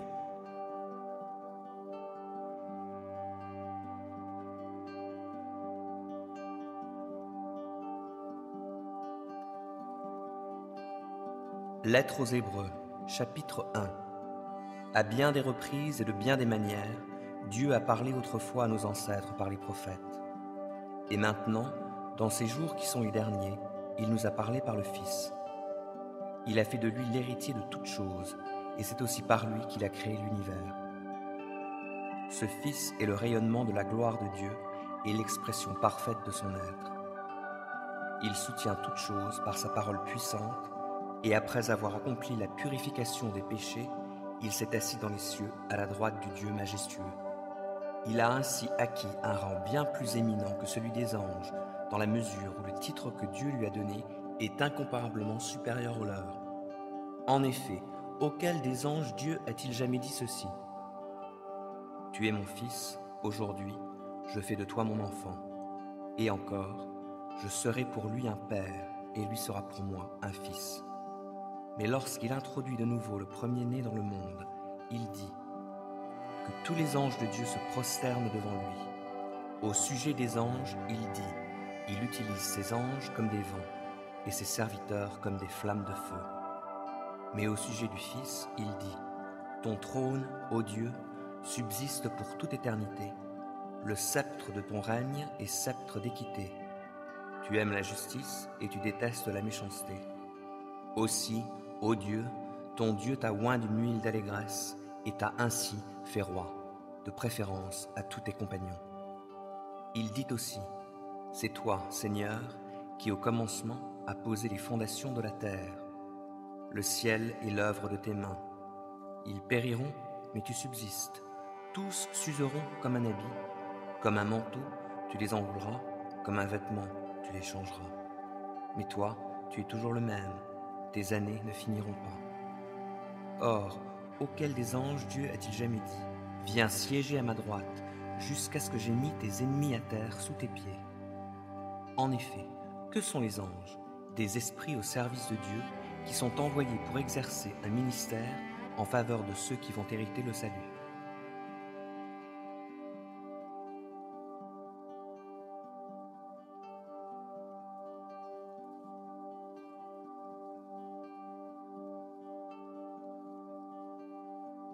Actes des apôtres 4 Pendant qu'il parlait ainsi à la foule, survinrent quelques prêtres accompagnés du chef de la police du temple et des membres du parti des Sadducéens.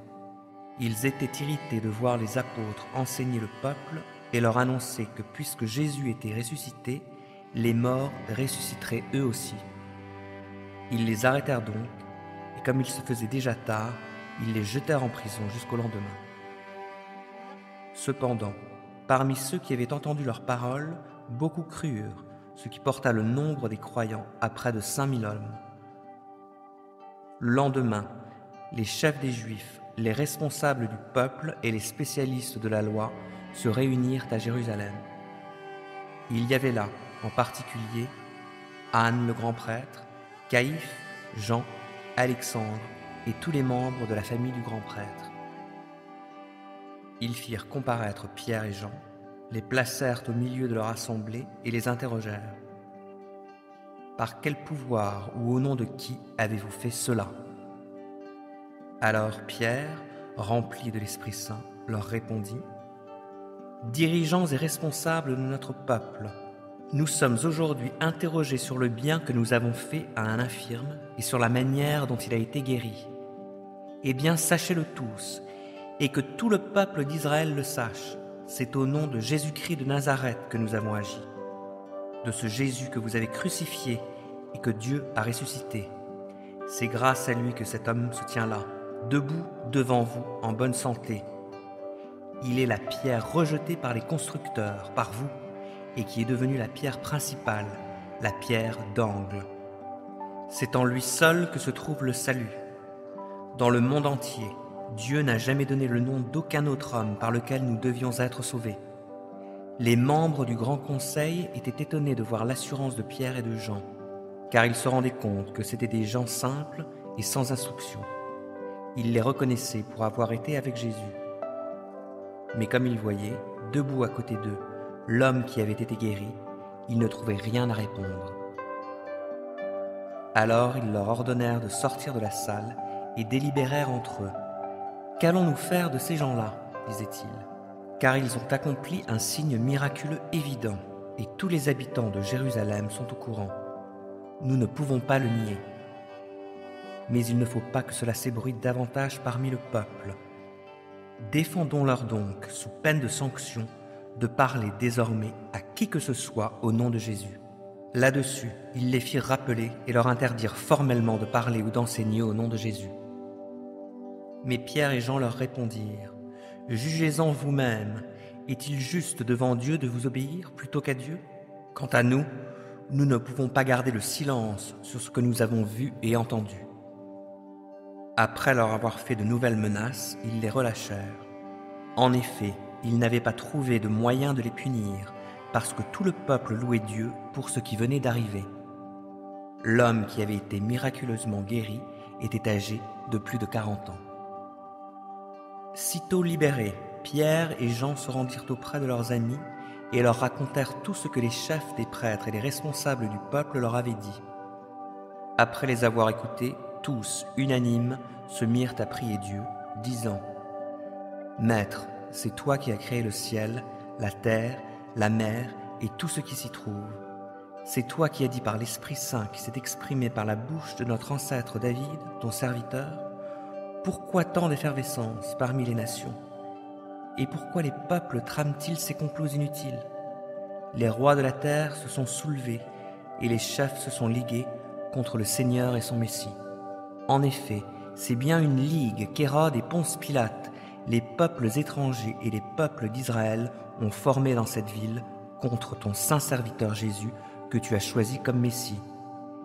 Ils n'ont fait qu'accomplir tout ce que tu avais décidé d'avance dans ta puissance et ta volonté. Maintenant, Seigneur, vois comme il nous menace et donne à tes serviteurs la force d'annoncer ta parole avec une pleine assurance. Étends ta main pour qu'il se produisent des guérisons, des miracles et d'autres signes au nom de ton saint serviteur Jésus. Quand ils eurent fini de prier, la terre se mit à trembler sous leurs pieds, à l'endroit où ils étaient assemblés. Ils furent tous remplis du Saint-Esprit et annonçaient la parole de Dieu avec assurance. tous ceux qui étaient devenus des croyants vivaient dans une parfaite unité de cœur et d'esprit. Personne ne se prétendait propriétaire de ses biens, mais ils partageaient tout ce qu'ils avaient. Avec une grande puissance, les apôtres rendaient témoignage de la résurrection du Seigneur Jésus, et la grâce de Dieu agissait avec force en eux tous. Aucun d'eux n'était dans le besoin, car ceux qui possédaient des champs ou des maisons les vendaient, apportaient le produit de la vente et le remettaient aux apôtres. Ceux-ci le répartissaient alors entre tous, et chacun recevait ce dont il avait besoin. C'est ainsi que, par exemple, un certain Joseph possédait un terrain. C'était un lévite originaire de Chypre. Les apôtres le surnommaient Barnabas, ce qui veut dire l'homme qui encourage. Il vendit son terrain, apporta l'argent et en remit le produit aux apôtres.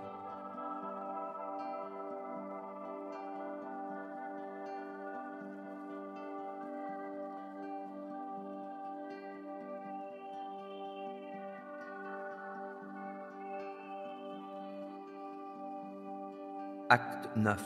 Saul, qui ne pensait qu'à menacer et à tuer les disciples du Seigneur, se rendit chez le grand prêtre et lui demanda des lettres de recommandation pour les synagogues de Damas. Ces lettres l'autorisaient, s'il trouvait là-bas des hommes ou des femmes qui suivaient la voie du Seigneur, à les arrêter et à les amener à Jérusalem. Il se dirigeait donc vers Damas et approchait déjà de cette ville quand soudain il fut environné d'une lumière éclatante qui venait du ciel.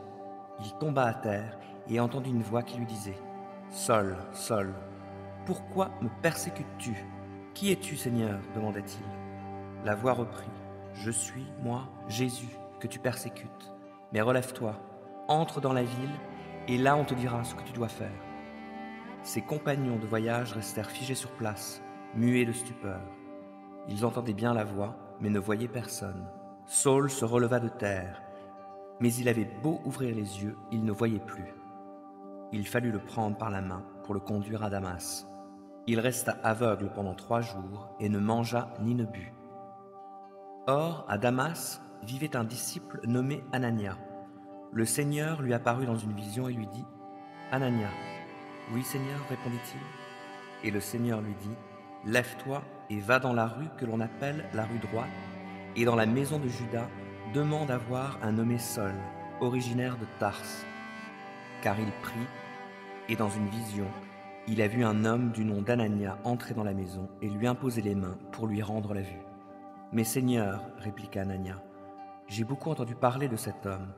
De plusieurs côtés, on m'a dit tout le mal qu'il a fait aux membres de ton peuple saint à Jérusalem. De plus, il est venu ici muni de pouvoir que lui ont accordé les chefs des prêtres pour arrêter tous ceux qui te prient. Mais le Seigneur lui dit, Va, car j'ai choisi cet homme pour me servir il fera connaître qui je suis aux peuples étrangers et à leurs rois, ainsi qu'aux Israélites. Je lui montrerai moi-même tout ce qu'il devra souffrir pour moi. Anania partit donc, et arrivé dans la maison, il imposa les mains à Saul et lui dit, Saul, mon frère, le Seigneur Jésus, qui t'est apparu sur le chemin par lequel tu venais, m'a envoyé pour que la vue te soit rendue et que tu sois rempli du Saint-Esprit. Au même instant, ce fut comme si des écailles tombaient des yeux de Saul, et il vit de nouveau. Alors il se leva et fut baptisé, puis il mangea et reprit les forces. Saul passa quelques jours parmi les disciples de Damas, et dans les synagogues, il se mit tout de suite à proclamer que Jésus est le Fils de Dieu. Ses auditeurs n'en revenaient pas. Tous disaient, Voyons, n'est-ce pas lui qui s'acharnait à Jérusalem contre ceux qui, dans leurs prières, invoquent ce nom-là? N'est-il pas venu ici exprès pour les arrêter et les ramener au chef des prêtres? Mais Saul s'affermissait de jour en jour dans la foi, et les Juifs qui habitaient à Damas ne savaient plus que dire, car il leur démontrait que Jésus est le Messie. Après un certain temps, les Juifs résolurent de le faire mourir. Saul eut vent de leur complot. Jour et nuit, il faisait même surveiller les portes de la ville avec l'intention de le tuer. Mais une nuit, les disciples qui l'enseignaient l'emmenèrent et le firent descendre dans une corbeille le long du rempart. À son arrivée à Jérusalem, il essaya de se joindre aux disciples. Mais tous avaient peur de lui, car ils ne croyaient pas qu'il fût vraiment devenu un disciple. Barnabas le prit avec lui, le conduisit auprès des apôtres et leur raconta comment, sur le chemin de Damas, Saul avait vu le Seigneur, comment le Seigneur lui avait parlé et avec quel courage il avait prêché à Damas au nom de Jésus. Dès lors, il se joignit à eux, allant et venant avec eux à Jérusalem, et parlant ouvertement au nom du Seigneur. Il avait aussi beaucoup d'entretiens et de discussions avec les Juifs de culture grecque, mais ceux-là aussi cherchèrent à le faire mourir. Quand les frères l'apprirent, ils le conduisirent jusqu'à Césarée, et de là le firent partir pour Tarse. Dans toute la Judée, la Galilée et la Samarie, l'Église jouissait alors de la paix. Elle grandissait dans la foi, vivait dans l'obéissance au Seigneur et s'accroissait en nombre grâce au soutien du Saint-Esprit. Pierre, qui parcourait tout le pays, passa aussi chez les membres du peuple saint qui habitaient à Lydda. Il y trouva un homme du nom d'Aîné, qui n'avait pas quitté son lit depuis huit ans parce qu'il était paralysé. Aîné, lui dit Pierre, Jésus-Christ te guérit, lève-toi et fais ton lit. Il se leva aussitôt tous ceux qui habitaient le village de Lydda et la plaine de Saron le virent et se convertirent au Seigneur. À Jaffa vivait une femme, disciple du Seigneur, nommée Tabitha, en grec Dorca, ce qui signifie la gazelle. Elle faisait beaucoup de bien autour d'elle et venait en aide aux pauvres. À cette époque, elle tomba malade et mourut. Après avoir fait sa toilette funèbre, on la déposa dans la chambre, au premier étage de sa maison. Or Jaffa et tout près de Lydda, et les disciples avaient appris que Pierre se trouvait là. Ils lui envoyèrent donc deux hommes pour l'inviter en lui disant Dépêche-toi de venir chez nous. Pierre les suivit aussitôt. À son arrivée, on le conduisit dans la chambre. Toutes les veuves l'accueillirent en pleurant et lui montrèrent les robes et autres vêtements que Tabitha avait confectionnés quand elle était encore des leurs.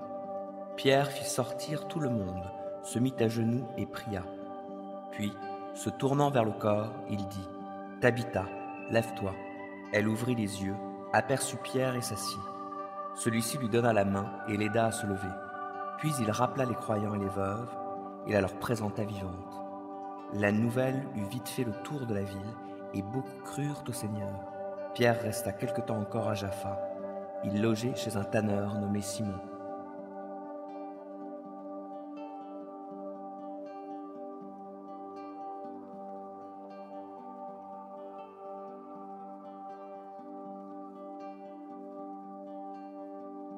Première lettre de Jean 2. Mes chers enfants, je vous écris ceci afin que vous ne péchiez pas. Si toutefois il arrivait à quelqu'un de commettre un péché, nous avons un défenseur auprès du Père, Jésus-Christ le juste. Car il a expié nos péchés, et pas seulement les nôtres, mais ceux de gens du monde entier. Voici comment nous savons que nous connaissons Christ. C'est parce que nous obéissons à ses commandements. Si quelqu'un dit ⁇ Je le connais ⁇ sans obéir à ses commandements, c'est un menteur, et la vérité n'est pas en lui. Celui qui observe sa parole a vraiment pour Dieu un amour parvenu à sa pleine maturité. C'est ainsi que nous savons que nous sommes unis à lui. Celui qui prétend qu'il demeure en Christ doit aussi vivre comme Christ lui-même a vécu. Mes chers amis, ce n'est pas un nouveau commandement que je vous écris il s'agit d'un commandement ancien que vous avez reçu dès le commencement. Et ce commandement ancien, c'est le message que vous avez entendu. Mais en même temps, c'est un commandement nouveau que je vous écris. Et l'on en voit la réalisation en Christ et en vous, car les ténèbres se dissipent et la lumière véritable brille déjà. Celui qui prétend être dans la lumière tout en détestant son frère est encore présentement dans les ténèbres. Celui qui aime son frère demeure dans la lumière, et rien en lui ne risque de causer sa chute. Mais celui qui déteste son frère est dans les ténèbres. Il marche dans les ténèbres sans savoir où il va, parce que les ténèbres l'ont rendu aveugle. Je vous écris ceci, enfants. Vos péchés vous sont pardonnés grâce à Jésus-Christ. Je vous écris ceci, Père. Vous connaissez celui qui est dès le commencement. Je vous écris ceci, jeunes gens vous avez vaincu le diable. Je vous le confirme, enfants, vous connaissez le Père. Je vous le confirme, Père, vous connaissez celui qui est dès le commencement. Je vous le confirme, jeunes gens, vous êtes forts, la parole de Dieu demeure en vous et vous avez vaincu le diable. N'aimez pas le monde, ni rien de ce qui fait partie de ce monde. Si quelqu'un aime le monde, l'amour pour le Père n'est pas en lui. En effet, tout ce qui fait partie du monde, les mauvais désirs qui animent l'homme livré à lui-même, la soif de posséder ce qui attire les regards, et l'orgueil qu'inspirent les biens matériels, tout cela ne vient pas du Père, mais du monde. Or le monde passe avec tous ses attraits, mais celui qui accomplit la volonté de Dieu demeure éternellement. Mes enfants, c'est la dernière heure. Vous avez appris qu'un antichrist doit venir. Or, dès à présent, beaucoup d'antichrists sont là. Voilà pourquoi nous savons que nous sommes entrés dans la dernière heure. Ces adversaires de Christ sont sortis de chez nous, mais, en réalité, ils n'étaient pas des nôtres. Car, s'ils avaient été des nôtres, ils seraient restés avec nous mais ils nous ont quittés pour qu'il soit parfaitement clair que tous ne sont pas des nôtres. Vous, au contraire, vous avez été oints du Saint-Esprit par celui qui est saint, et vous avez tous la connaissance. Si je vous écris, ce n'est pas parce que vous ne connaissez pas la vérité, mais parce que vous la connaissez, et qu'aucun mensonge ne vient de la vérité. Alors, qui est le menteur? C'est celui qui nie que Jésus est Christ. Et l'Antichrist, c'est celui qui refuse de reconnaître le Père et le Fils. Tout homme qui nie que Jésus est le Fils de Dieu ne connaît pas non plus le Père. Celui qui reconnaît que Jésus est le Fils de Dieu connaît aussi le Père. C'est pourquoi tenez-vous soigneusement à l'enseignement que vous avez reçu dès le commencement. Si ce que vous avez entendu dès le commencement demeure en vous, vous demeurerez aussi unis au Fils et au Père. Et voici la promesse qu'il vous a faite la vie éternelle. C'est au sujet de ceux qui vous entraînent dans l'erreur que je vous écris ces choses. Quant à vous, l'Esprit dont vous avez été oint par Christ demeure en vous. Vous n'avez donc pas besoin que l'on vous instruise, car cet Esprit dont vous avez été oint vous enseigne tout. Il est véridique, il ne ment pas. Restez donc attachés à cet enseignement tel que vous l'avez reçu de l'Esprit. Mes enfants, demeurez attachés à Christ pour qu'au moment où il paraîtra, nous soyons remplis d'assurance et que nous ne nous trouvions pas tout honteux loin de lui au moment de sa venue. Vous savez que Dieu est juste. Reconnaissez par conséquent que tout homme qui accomplit ce qui est juste est né de lui.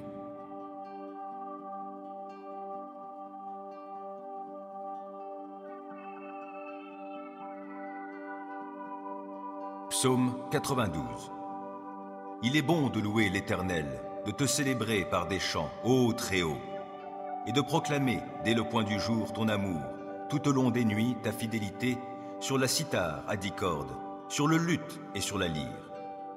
Ce que tu fais, éternel, me remplit de joie, et j'acclamerai les ouvrages de tes mains.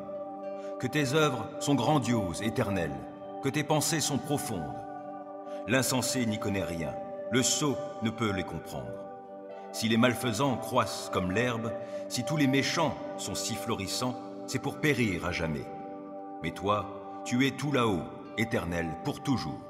Car voici tes ennemis, éternel, car voici tes ennemis périssent, et tous ceux qui font le mal seront dispersés. Mais tu me remplis de force, je suis comme un buffle, je me suis enduit d'huile fraîche.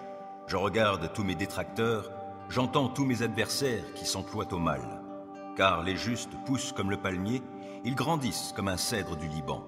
Bien plantés dans la demeure de l'Éternel, ils fleurissent sur les parvis du temple de notre Dieu. Ils seront féconds jusqu'en leur vieillesse, et ils resteront pleins de sève et de vigueur. Ils proclameront combien l'Éternel est droit. Il est mon rocher, on ne trouve en lui aucune injustice.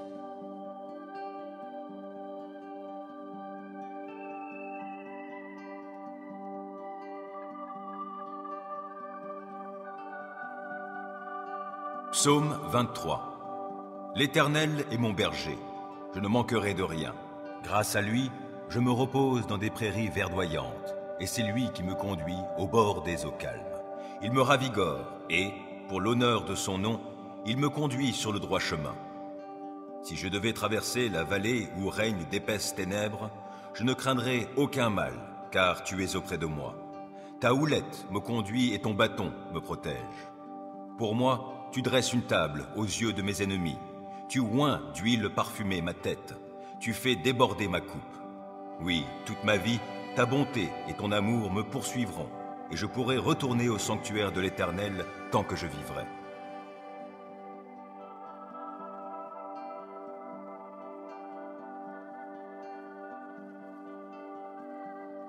Psaume 133 Oh, qu'il est bon et qu'il est agréable pour des frères de se trouver ensemble. C'est comme l'huile parfumée répandue sur la tête qui descend sur la barbe, la barbe d'Aaron, et coule jusqu'au bord de ses habits.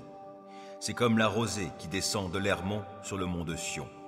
C'est là que l'Éternel accorde sa bénédiction et la vie pour toujours.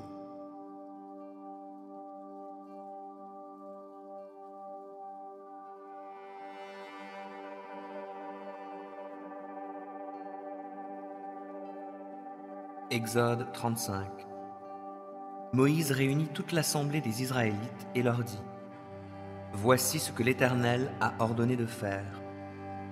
Vous ferez votre ouvrage pendant six jours, mais le septième jour sera pour vous un jour de repos complet, consacré à l'Éternel. Quiconque fera un travail ce jour-là sera mis à mort. Vous n'allumerez de feu dans aucune de vos habitations le jour du sabbat. Moïse dit à toute l'assemblée des Israélites Voici ce que l'Éternel a commandé. Prélevez parmi vous une contribution pour l'Éternel. Toute personne qui le souhaite dans son cœur apportera à l'Éternel une contribution en bronze, en argent ou en or, ou des fils de pourpre violette ou écarlate, de rouge éclatant, du fin lin et du poil de chèvre, des peaux de bélier teintes en rouge, des peaux de dauphin et du bois d'acacia, de l'huile pour le chandelier et des aromates pour l'huile d'onction et le parfum aromatique, des pierres d'onyx et d'autres pierres à enchâsser pour l'éphode et pour le pectoral. Tous les gens habiles parmi vous, qu'ils viennent et exécutent tout ce que l'Éternel a prescrit. Le tabernacle, sa tente et sa couverture, ses agrafes, ses cadres, ses traverses, ses piliers et ses socles, le coffre sacré avec ses barres et le propitiatoire, le voile de séparation, la table, ses barres et tous ses accessoires, ainsi que les pains destinés à être exposés devant l'Éternel, le chandelier, ses ustensiles, ses lampes et l'huile d'éclairage, l'autel des parfums et ses barres, l'huile d'onction sainte, le parfum aromatique et le rideau pour l'entrée de la demeure, l'autel des holocaustes, sa grille de bronze, ses barres et tous ses accessoires, la cuve et son socle, les tentures du parvis, ses piliers, ses socles et le rideau pour l'entrée du parvis, les piquets du tabernacle, ceux du parvis et leur cordage, les vêtements de cérémonie pour faire le service dans le sanctuaire, les vêtements sacrés pour le prêtre Aaron et ceux de ses fils pour l'exercice du sacerdoce. Puis la communauté des Israélites se retira de la présence de Moïse. Alors tous ceux dont le cœur les y disposait et qui en avaient la volonté vinrent apporter à l'Éternel leur contribution en vue de la construction de la tente de la rencontre, de tout l'ouvrage qui s'y rapporte et de la confection des vêtements sacrés. Tous ceux qui le souhaitaient de tout leur cœur, les hommes autant que les femmes, vinrent apporter des pendentifs, des boucles, des anneaux, des bracelets et toutes sortes d'ornements en or, et ils les offrirent à l'Éternel avec le geste de présentation. Tous ceux qui avaient chez eux des fils de pourpre violette ou écarlate, de rouge éclatant, du fin lin, du poil de chèvre, des peaux de bélier teintes en rouge et des peaux de dauphin les apportèrent. Tous ceux qui avaient mis de côté une offrande en argent et en bronze l'apportèrent à l'Éternel. Tous ceux qui avaient chez eux du bois d'acacia l'apportèrent pour tout l'ouvrage à réaliser. Toutes les femmes habiles filèrent le lin de leurs mains et apportèrent des fils de pourpre violette et écarlate, de rouge éclatant et du fin lin. Toutes les femmes habiles qui le désiraient de tout cœur filèrent les poils de chèvre. Les chefs du peuple apportèrent les pierres d'onyx et les pierres à enchâsser pour l'éphod et le pectoral, les aromates et l'huile pour le chandelier, pour l'huile d'onction et pour le parfum aromatique. Tous les Israélites, hommes et femmes, que leur cœur poussait à apporter quelque chose pour les ouvrages que l'Éternel avait ordonné d'exécuter par l'intermédiaire de Moïse, apportèrent leurs offrandes volontaires à l'Éternel. Moïse dit aux Israélites, Voyez, L'Éternel a désigné Betsaléel, fils d'Uri, descendant de Our de la tribu de Juda. Il l'a rempli de l'Esprit de Dieu qui lui confère de l'habileté, de l'intelligence et de la compétence pour exécuter toutes sortes d'ouvrages, pour concevoir des projets, pour travailler l'or, l'argent et le bronze, pour tailler des pierres à enchâsser, pour sculpter le bois et pour réaliser toutes sortes d'ouvrages. Il lui a aussi accordé, de même qu'à Oholiab, fils d'Aïsamak de la tribu de Dan, le don d'enseigner sa technique à d'autres.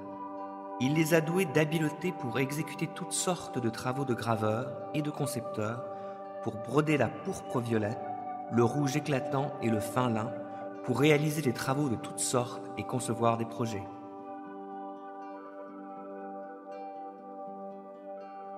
Deutéronome 28 Si vous écoutez attentivement la parole de l'Éternel, votre Dieu, et si vous obéissez à tous les commandements que je vous donne aujourd'hui, si vous les appliquez, alors l'Éternel votre Dieu vous donnera une place prépondérante au-dessus de tous les autres peuples de la terre. Si vous obéissez à l'Éternel votre Dieu, voici toutes les bénédictions dont Dieu vous comblera. Vous jouirez de ces bénédictions à la ville comme au champ. Il vous bénira en vous donnant de nombreux enfants et d'abondantes récoltes, en multipliant le nombre de vos bœufs, de vos moutons et de vos chèvres. Il vous bénira en remplissant votre corbeille et votre pétrin. Il vous bénira lors de vos allées et venues, au départ comme à l'arrivée. L'Éternel mettra en déroute les ennemis qui vous attaqueront. S'ils marchent contre vous par un seul chemin, ils s'enfuiront en débandade en tous sens.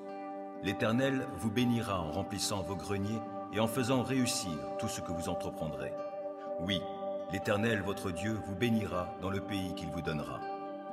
Si vous obéissez aux commandements de l'Éternel votre Dieu, et si vous suivez les chemins qu'il vous a prescrits, il fera de vous un peuple saint pour lui, comme il l'a promis par serment. Tous les peuples de la terre verront alors que l'Éternel est invoqué en votre faveur, et ils vous craindront. L'Éternel vous comblera de bien dans le pays qu'il a promis par serment à vos ancêtres de vous donner. Il vous accordera de nombreux enfants, multipliera vos troupeaux, et vous donnera des récoltes abondantes. L'Éternel ouvrira pour vous son bon trésor céleste pour donner en temps voulu la pluie nécessaire aux terres et pour bénir tout travail que vous accomplirez. Vous prêterez à de nombreux peuples et vous n'aurez vous-même pas besoin d'emprunter. L'Éternel vous fera tenir le premier rang parmi les peuples, jamais le dernier. Vous occuperez toujours la position la plus haute et non une position inférieure, à condition que vous écoutiez les commandements de l'Éternel votre Dieu, que je vous prescris aujourd'hui pour y obéir et les appliquer, sans vous écarter ni dans un sens ni dans l'autre de tout ce que je vous ordonne aujourd'hui, pour vous attacher à d'autres dieux et leur rendre un culte. Par contre, si vous n'obéissez pas à l'Éternel, votre Dieu, si vous ne veillez pas à appliquer tous ces commandements et ces lois que je vous transmets moi-même aujourd'hui, voici quelles malédictions fondront sur vous. Vous serez maudits à la ville comme au champ. La malédiction reposera sur votre corbeille à fruits et sur votre pétrin. Dieu maudira vos enfants et vos récoltes, et les portées de vos troupeaux, de gros et de petits bétails. Maudits serez-vous dans vos allées et venues, au départ comme à l'arrivée. L'Éternel déchaînera contre vous la misère, le désordre et la ruine dans tout ce que vous entreprendrez et que vous exécuterez, jusqu'à ce que vous soyez complètement détruits, et vous ne tarderez pas à disparaître, parce que vous m'aurez abandonné et que vous aurez commis de mauvaises actions. L'Éternel vous enverra une épidémie de peste qui finira par vous éliminer du pays dans lequel vous allez entrer pour en prendre possession. Il vous frappera de maladies qui vous feront dépérir, des fièvres et des inflammations de toute nature. Il frappera aussi vos champs par la sécheresse, la rouille et le charbon. Tous ces fléaux vous poursuivront jusqu'à ce que vous disparaissiez. Le ciel au-dessus de vos têtes sera aussi dur que du bronze, et la terre sous vos pieds sera comme du fer. Au lieu de pluie, l'Éternel enverra sur votre pays de la poussière et du sable, qui tomberont du ciel sur vous jusqu'à ce que vous soyez exterminés. Il vous mettra en déroute devant vos ennemis. Si vous marchez contre eux par un seul chemin, vous fuirez devant eux en débandade en tous sens. En voyant ce qui vous arrivera, tous les royaumes de la terre seront terrifiés. Vos cadavres serviront de pâture aux rapaces et aux fauves que personne ne viendra déranger. L'Éternel vous affligera d'ulcères comme les Égyptiens, d'hémorroïdes, de gales et de pustules incurables. Il vous frappera de folie, d'aveuglement et d'égarement d'esprit, au point que vous tâtonnerez en plein jour comme des aveugles dans l'obscurité. Aucune de vos entreprises ne réussira. Tous les jours, vous serez exploités et dépouillés sans personne pour vous délivrer. Si un homme se fiance, un autre homme épousera sa fiancée. Si quelqu'un bâtit une maison, il ne s'y installera pas. S'il plante une vigne, il n'en recueillera pas les fruits. Vos bœufs seront abattus sous vos yeux, et vous n'en mangerez pas la viande. Vos ânes seront volés devant vous, et ne vous seront jamais restitués. Vos moutons et vos chèvres tomberont entre les mains de vos ennemis, et personne ne viendra à votre secours. Vos fils et vos filles seront livrés à un peuple étranger. Vos yeux s'épuiseront à force de guetter leur retour jour après jour, mais vous n'y pourrez rien. Un peuple que vous ne connaissez pas mangera les produits de votre terre et tout le produit de votre travail. Vous serez continuellement exploité et maltraité. À force de voir ce qui se présentera sous vos yeux, vous en perdrez la raison. L'Éternel vous frappera d'ulcères malins incurables aux genoux et aux cuisses, qui vous gagneront tout le corps, de la plante des pieds au sommet de la tête. L'Éternel vous exilera, avec le roi que vous aurez établi sur vous, chez un peuple que ni vous, ni vos ancêtres n'auront connu. Et là, vous serez asservis à d'autres dieux qui ne sont que du bois et de la pierre. Tous les peuples chez lesquels l'Éternel vous aura mené seront abasourdis de votre sort. Vous serez le sujet de leur moquerie et ils vous tourneront en dérision. Vous sèmerez beaucoup de grains dans vos champs, mais vous ferez de maigres récoltes, car les sauterelles auront tout dévasté. Vous planterez des vignes et vous y travaillerez, mais vous n'en boirez pas le vin, et vous n'aurez rien à y récolter, car les chenilles auront tout dévoré. Vous posséderez des oliviers sur tout votre territoire, mais vous n'en récolterez même pas assez d'huile pour enduire votre corps, car vos olives seront tombées avant d'être mûres. Vous donnerez naissance à des fils et des filles, mais vous ne les garderez pas avec vous, car ils s'en iront en captivité. Les criquets dévasteront tous vos arbres et mangeront les produits de vos terres. Les immigrés qui vivront parmi vous parviendront de plus en plus à une position au-dessus de la vôtre, tandis que vous déclinerez de plus en plus. Ce sont eux qui vous prêteront alors que vous, vous n'aurez plus rien à leur prêter. Ils seront au premier rang et vous au dernier. Toutes ces malédictions fondront sur vous, vous poursuivront et vous atteindront jusqu'à ce que vous soyez exterminés, parce que vous n'aurez pas obéi à l'Éternel votre Dieu en observant les commandements et les lois qu'il vous a donnés. Ils seront pour vous et vos descendants un signe d'avertissement à jamais. Si vous ne servez pas l'Éternel votre Dieu avec la joie et le bonheur au cœur au sein de l'abondance en toutes choses, vous serez asservis aux ennemis que l'Éternel enverra contre vous. Vous aurez faim et soif, vous manquerez de vêtements et vous serez privés de tout. L'Éternel placera un joug de fer sur vos épaules jusqu'à ce qu'il vous ait détruit. Il lancera contre vous, depuis les confins du monde, un peuple lointain, dont vous ne comprendrez pas la langue, il fondra sur vous comme un aigle sur sa proie. Ce sera un peuple d'hommes au visage dur, sans respect pour le vieillard, ni pitié pour les enfants. Ils dévoreront votre bétail et les produits de votre sol jusqu'à ce que vous soyez exterminés. Vous mourrez de faim, car ils ne vous laisseront ni blé, ni vin, ni huile, ni veau, ni agneau, ni chevreau, jusqu'à ce qu'il vous ait fait périr. Ils assiégeront vos villes jusqu'à ce que s'écroulent dans tout votre territoire les hautes murailles fortifiées dans lesquelles vous aurez mis votre confiance. Ils assiégeront toutes les villes du pays que l'Éternel votre Dieu vous donne. Pendant le siège, vos ennemis vous réduiront à une telle détresse que vous en viendrez à manger vos propres enfants. Oui, vous dévorerez la chair des fils et des filles que l'Éternel votre Dieu vous aura donnés. L'homme le plus délicat et le plus raffiné parmi vous regardera avec malveillance son frère, sa femme qu'il aura serré contre son cœur et les enfants qui lui resteront encore, de peur d'avoir à partager avec eux la chair de ses enfants, seule nourriture dont il disposera encore, dans la détresse à laquelle vos ennemis vous auront réduit en assiégeant toutes vos villes. La femme la plus délicate et la plus raffinée parmi vous, celle qui était si délicate et si raffinée qu'elle ne se risquait même pas à poser la plante du pied sur le sol, regardera avec malveillance le mari qu'elle a serré contre son cœur, son fils et sa fille, car elle voudra manger toute seule, en cachette, le bébé qu'elle vient de mettre au monde, et son placenta dont elle sera juste délivrée, à cause de la détresse à laquelle vous auront réduit vos ennemis en assiégeant toutes vos villes. Si vous ne veillez pas avec soin à appliquer toutes les paroles de cette loi consignée dans ce livre, pour craindre celui qui est glorieux et redoutable, c'est-à-dire l'Éternel votre Dieu, alors l'Éternel interviendra de façon prodigieuse pour vous frapper, vous et vos descendants, de plaies intenses et tenaces. Il vous infligera des maladies graves et persistantes. Il déchaînera contre vous toutes ces plaies d'Égypte que vous avez redoutées, et elles s'attacheront à vous. De plus, il vous enverra toutes sortes de maladies et de fléaux qui ne sont pas mentionnés dans ce livre de la loi, jusqu'à ce que vous soyez exterminés. Après avoir été aussi nombreux que les étoiles du ciel, vous ne serez plus qu'une poignée d'hommes, parce que vous n'aurez pas obéi à l'Éternel votre Dieu. Il arrivera donc qu'autant l'Éternel s'était plu à vous combler et à vous multiplier, autant il prendra plaisir à vous faire périr et disparaître. Ainsi, vous serez arrachés du pays où vous allez entrer pour en prendre possession, et l'Éternel vous dispersera parmi tous les peuples d'un bout de la terre à l'autre. Là, vous serez asservis à d'autres dieux que ni vous, ni vos ancêtres n'auraient connus, des dieux de bois et de pierre. Même au milieu de ces peuples étrangers, vous ne trouverez ni tranquillité, ni lieu où vous installer pour mener une existence paisible.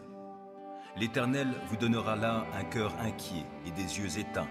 Le découragement vous rongera, votre avenir sera très incertain, vous connaîtrez nuit et jour la peur, vous n'aurez aucune assurance pour votre vie. La terreur envahira votre cœur à cause de tout ce que vous aurez constamment sous les yeux, de sorte que le matin vous direz, si seulement c'était le soir. Et le soir, quand donc viendra le matin? L'Éternel vous fera reprendre le chemin de l'Égypte sur des bateaux, alors qu'il vous avait dit que vous ne la reverriez plus jamais. Là, vous vous offrirez vous-même comme esclave à vos ennemis, mais personne ne voudra vous acheter. Voici les paroles de l'alliance que l'Éternel ordonna à Moïse de conclure avec les Israélites dans le pays de Moab, en plus de l'alliance qu'il avait conclue avec eux au mont Horeb.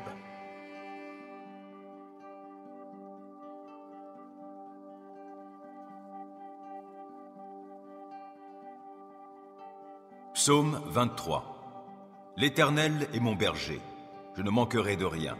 Grâce à lui, je me repose dans des prairies verdoyantes et c'est lui qui me conduit au bord des eaux calmes. Il me ravigore, et, pour l'honneur de son nom, il me conduit sur le droit chemin. Si je devais traverser la vallée où règnent d'épaisses ténèbres, je ne craindrais aucun mal, car tu es auprès de moi. Ta houlette me conduit et ton bâton me protège. Pour moi, tu dresses une table aux yeux de mes ennemis. Tu oins d'huile parfumée ma tête. Tu fais déborder ma coupe.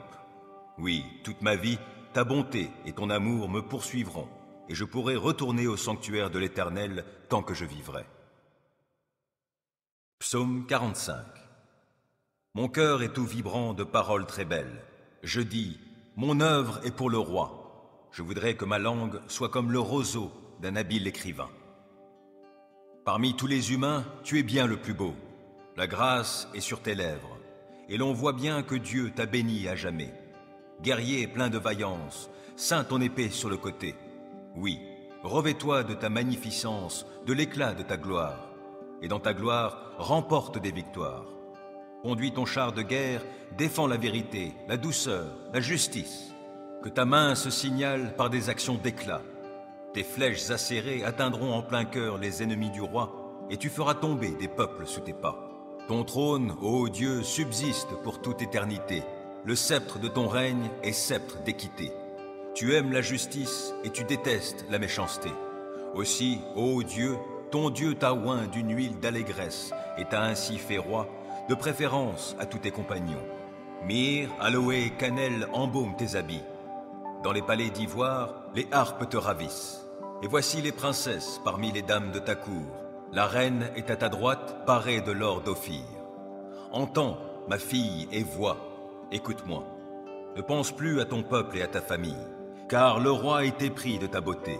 Lui, il est ton Seigneur. Prosterne-toi donc devant lui. Les habitants de Tyr viendront t'apporter leurs présents pour gagner ta faveur, de même que les peuples les plus riches. Toute resplendissante est la fille du roi dans le palais. Ses vêtements sont brodés de l'or le plus fin. En vêtements brodés, on la présente au roi. De jeunes demoiselles la suivent en cortège. On les conduit auprès de toi. On les conduit dans la joie et dans l'allégresse. Elles sont introduites dans le palais du roi. Tes fils succéderont à tes ancêtres. Tu les établiras princes pour diriger tout le pays. Je redirai ta renommée à toutes les générations. C'est pourquoi tous les peuples te loueront éternellement.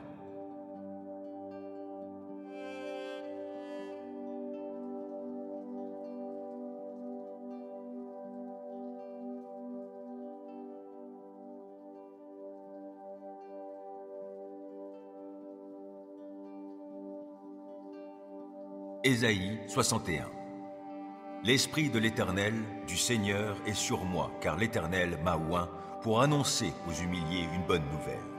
Oui, il m'a envoyé afin de penser ceux qui ont le cœur brisé, d'annoncer aux captifs leur délivrance et à ceux qui sont prisonniers leur mise en liberté, afin de proclamer pour l'Éternel une année de faveur et un jour de rétribution pour notre Dieu, afin de consoler tous ceux qui mènent deuil et d'apporter à ceux qui, dans Sion, sont endeuillés, la splendeur au lieu de la cendre, pour mettre sur leur tête l'huile de l'allégresse au lieu du deuil, et pour les vêtir d'habits de louange au lieu d'un esprit abattu, afin qu'on les appelle les chaînes de justice, la plantation de l'Éternel qui manifeste sa splendeur. Car ils rebâtiront les ruines d'autrefois, et ils relèveront ce qui a été dévasté par le passé. Oui, ils restaureront les villes ravagées, les habitats détruits depuis bien des générations. Des étrangers viendront s'y établir, ils feront paître vos troupeaux. Ces gens seront vos laboureurs, et ils cultiveront vos vergers et vos vignes. Mais vous, on vous appellera prêtre de l'Éternel. On dira que vous êtes servant de notre Dieu. Vous jouirez des trésors des nations, et vous mettrez votre fierté dans ce qui fait leur gloire. Au lieu de votre honte, vous aurez double honneur, et au lieu de l'opprobre, vous pousserez des cris de joie à cause de la part que vous aurez. Car dans votre pays, vous recevrez un patrimoine double. Il y aura pour vous une joie éternelle. Moi, l'Éternel, moi j'aime la droiture. Je déteste le vol avec sa perfidie. Je les rétribuerai avec fidélité, et je conclurai avec eux une alliance éternelle. Leurs descendants seront connus chez les nations, et leur progéniture parmi les peuples. Tous ceux qui les verront reconnaîtront en eux une postérité bénie par l'Éternel. Je serai plein de joie, l'Éternel en sera la source. J'exulterai à cause de mon Dieu, parce qu'il m'aura revêtu des habits du salut et qu'il m'aura enveloppé du manteau de justice, tout comme le marié se pare d'un turban, tout comme un prêtre, et comme la mariée s'orne de ses bijoux. Comme la terre fait pousser les graines germées, et comme le jardin fait germer ses semences, ainsi le Seigneur, l'Éternel, va faire germer la justice et la louange aux yeux de tous les peuples.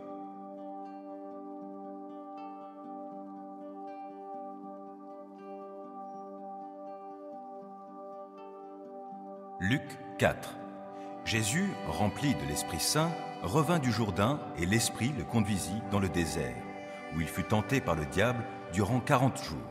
Il ne mangea rien durant ces jours-là, et, quand ils furent passés, il eut faim.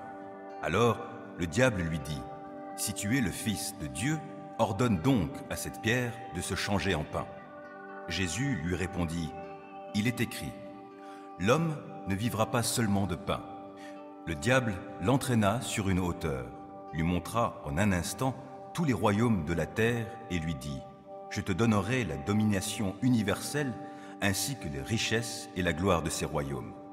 Car tout cela a été remis entre mes mains, et je le donne à qui je veux. Si donc tu te prosternes devant moi, tout cela sera à toi. Jésus lui répondit, Il est écrit, Tu adoreras le Seigneur, ton Dieu, et c'est à lui seul que tu rendras un culte. Le diable le conduisit ensuite à Jérusalem, le plaça tout en haut du temple et lui dit, Si tu es le Fils de Dieu, jette-toi d'ici en bas, car il est écrit, Il donnera des ordres à ses anges à ton sujet pour qu'ils veillent sur toi. Et encore, ils te porteront sur leurs mains pour que ton pied ne heurte pas de pierre. Jésus répondit, Il est aussi écrit, Tu ne forceras pas la main au Seigneur, ton Dieu. Lorsque le diable eut achevé de le soumettre à toutes sortes de tentations, il s'éloigna de lui jusqu'au temps fixé. Jésus, rempli de la puissance de l'Esprit, retourna en Galilée. Sa réputation se répandit dans toute la région. Il enseignait dans les synagogues et tous faisaient son éloge. Il se rendit aussi à Nazareth, où il avait été élevé, et il entra dans la synagogue le jour du sabbat, comme il en avait l'habitude. Il se leva pour faire la lecture biblique, et on lui présenta le rouleau du prophète Ésaïe. En déroulant le parchemin, il trouva le passage où il est écrit L'Esprit du Seigneur est sur moi, car il m'a oint pour annoncer une bonne nouvelle aux pauvres. Il m'a envoyé pour annoncer aux captifs la délivrance, aux aveugles le recouvrement de la vue, pour apporter la liberté aux opprimés et proclamer une année de faveur accordée par le Seigneur. Il roula le livre, le rendit au servant et s'assit. Dans la synagogue, tous les yeux étaient braqués sur lui. Aujourd'hui même, commença-t-il, pour vous qui l'entendez, cette prophétie de l'Écriture est devenue réalité. Aucun de ses auditeurs ne restait indifférent. Les paroles de grâce qu'il prononçait les étonnaient beaucoup. Aussi, disait-il, n'est-il pas le fils de Joseph? Alors il leur dit, Vous ne manquerez pas de m'appliquer ce dicton. Médecin, guéris-toi toi-même, et vous me direz, On nous a parlé de ce que tu as accompli à Capernaum. Fais-en donc autant ici, dans ta propre ville. Et il ajouta, Vraiment, je vous l'assure, aucun prophète n'est bien accueilli dans sa patrie. Voici la vérité, je vous le déclare. Il y avait beaucoup de veuves en Israël à l'époque d'Élie, quand, pendant trois ans et demi, il n'y a pas eu de pluie et qu'une grande famine a sévi dans tout le pays. Or, Élie n'a été envoyé vers aucune d'entre elles, mais vers une veuve qui vivait à Sarepta, dans le pays de Sidon. Il y avait aussi beaucoup de lépreux en Israël au temps du prophète Élisée. Et pourtant, aucun d'eux n'a été guéri. C'est le Syrien Naaman qui l'a été. En entendant ces paroles, tous ceux qui étaient dans la synagogue se mirent en colère. Ils se levèrent, firent sortir Jésus de la ville et le menèrent jusqu'au sommet de la montagne sur laquelle elle était bâtie, afin de le précipiter dans le vide. Mais il passa au milieu d'eux et s'en alla. Il se rendit à Capernaum, une autre ville de la Galilée. Il y enseignait les jours de sabbat. Ses auditeurs étaient profondément impressionnés par son enseignement, car il parlait avec autorité. Dans la synagogue se trouvait un homme sous l'emprise d'un esprit mauvais et démoniaque. Il se mit à crier d'une voix puissante. Ah, que nous veux-tu, Jésus de Nazareth? Es-tu venu pour nous détruire? Je sais qui tu es. Tu es le saint envoyé par Dieu. Mais d'un ton sévère, Jésus lui ordonna, Tais-toi et sors de cet homme. Le démon jeta l'homme par terre au milieu des assistants et sortit de lui, sans lui faire aucun mal. Tous furent saisis de stupeur. Ils se disaient tous, les uns aux autres, Quelle est cette parole? Ils donnent des ordres aux esprits mauvais avec autorité et puissance et ils sortent. Et la renommée de Jésus se répandait dans toutes les localités environnantes. En sortant de la synagogue, il se rendit à la maison de Simon. Or, la belle-mère de Simon souffrait d'une forte fièvre et l'on demanda à Jésus de faire quelque chose pour elle. Il se pencha sur elle, donna un ordre à la fièvre et la fièvre la quitta. Alors, elle se leva immédiatement et se mit à les servir. Au coucher du soleil, tous ceux qui avaient chez eux des malades atteints des maux les plus divers les amenèrent à Jésus. Il posa ses mains sur chacun d'eux et les guérit. Des démons sortaient aussi de beaucoup d'entre eux en criant ⁇ Tu es le Fils de Dieu !⁇ Mais Jésus les reprenait sévèrement pour les faire taire, car il savait qu'il était le Messie. Dès qu'il fit jour, Jésus sortit de la maison et se rendit dans un lieu désert. Les foules se mirent à sa recherche et, après l'avoir rejoint, voulurent le retenir pour qu'il ne les quitte pas. Mais il leur dit, Je dois aussi annoncer la bonne nouvelle du royaume de Dieu aux autres villes, car c'est pour cela que Dieu m'a envoyé et il prêchait dans les synagogues de la Judée.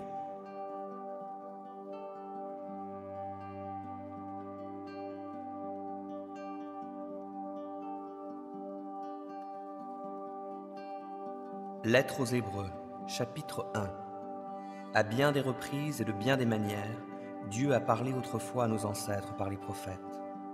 Et maintenant, dans ces jours qui sont les derniers, il nous a parlé par le Fils il a fait de lui l'héritier de toutes choses, et c'est aussi par lui qu'il a créé l'univers. Ce Fils est le rayonnement de la gloire de Dieu et l'expression parfaite de son être. Il soutient toutes choses par sa parole puissante, et après avoir accompli la purification des péchés, il s'est assis dans les cieux à la droite du Dieu majestueux. Il a ainsi acquis un rang bien plus éminent que celui des anges, dans la mesure où le titre que Dieu lui a donné est incomparablement supérieur au leur. En effet, auquel des anges Dieu a-t-il jamais dit ceci Tu es mon fils, aujourd'hui, je fais de toi mon enfant. Et encore, je serai pour lui un père, et lui sera pour moi un fils. Mais lorsqu'il introduit de nouveau le premier-né dans le monde, il dit que tous les anges de Dieu se prosternent devant lui. Au sujet des anges, il dit, il utilise ses anges comme des vents et ses serviteurs comme des flammes de feu. Mais au sujet du Fils, il dit, Ton trône, ô Dieu, subsiste pour toute éternité. Le sceptre de ton règne est sceptre d'équité. Tu aimes la justice et tu détestes la méchanceté. Aussi, ô Dieu, ton Dieu t'a oint d'une huile d'allégresse et t'a ainsi fait roi, de préférence à tous tes compagnons. Il dit aussi, C'est toi, Seigneur, qui au commencement a posé les fondations de la terre. Le ciel est l'œuvre de tes mains. Ils périront, mais tu subsistes. Tous s'useront comme un habit, comme un manteau, tu les enrouleras, comme un vêtement, tu les changeras. Mais toi, tu es toujours le même, tes années ne finiront pas. Or, auquel des anges Dieu a-t-il jamais dit Viens siéger à ma droite, jusqu'à ce que j'aie mis tes ennemis à terre sous tes pieds. En effet, que sont les anges? Des esprits au service de Dieu qui sont envoyés pour exercer un ministère en faveur de ceux qui vont hériter le salut.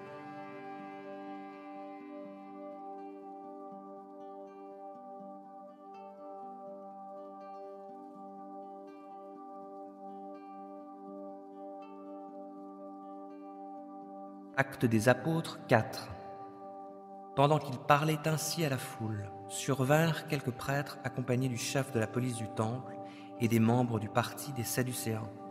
Ils étaient irrités de voir les apôtres enseigner le peuple et leur annoncer que puisque Jésus était ressuscité, les morts ressusciteraient eux aussi. Ils les arrêtèrent donc, et comme il se faisait déjà tard, ils les jetèrent en prison jusqu'au lendemain.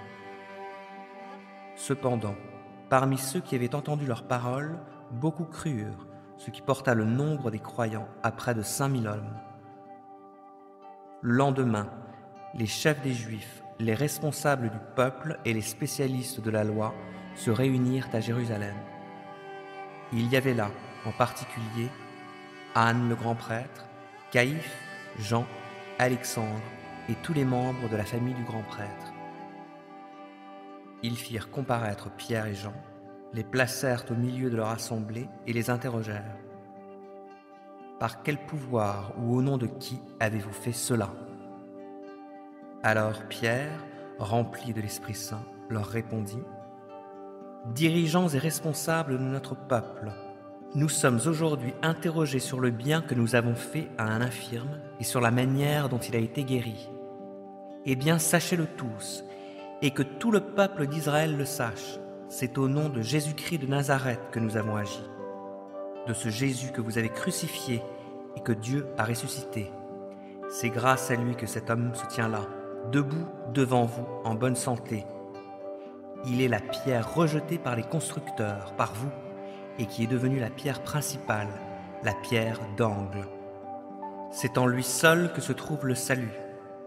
Dans le monde entier, Dieu n'a jamais donné le nom d'aucun autre homme par lequel nous devions être sauvés.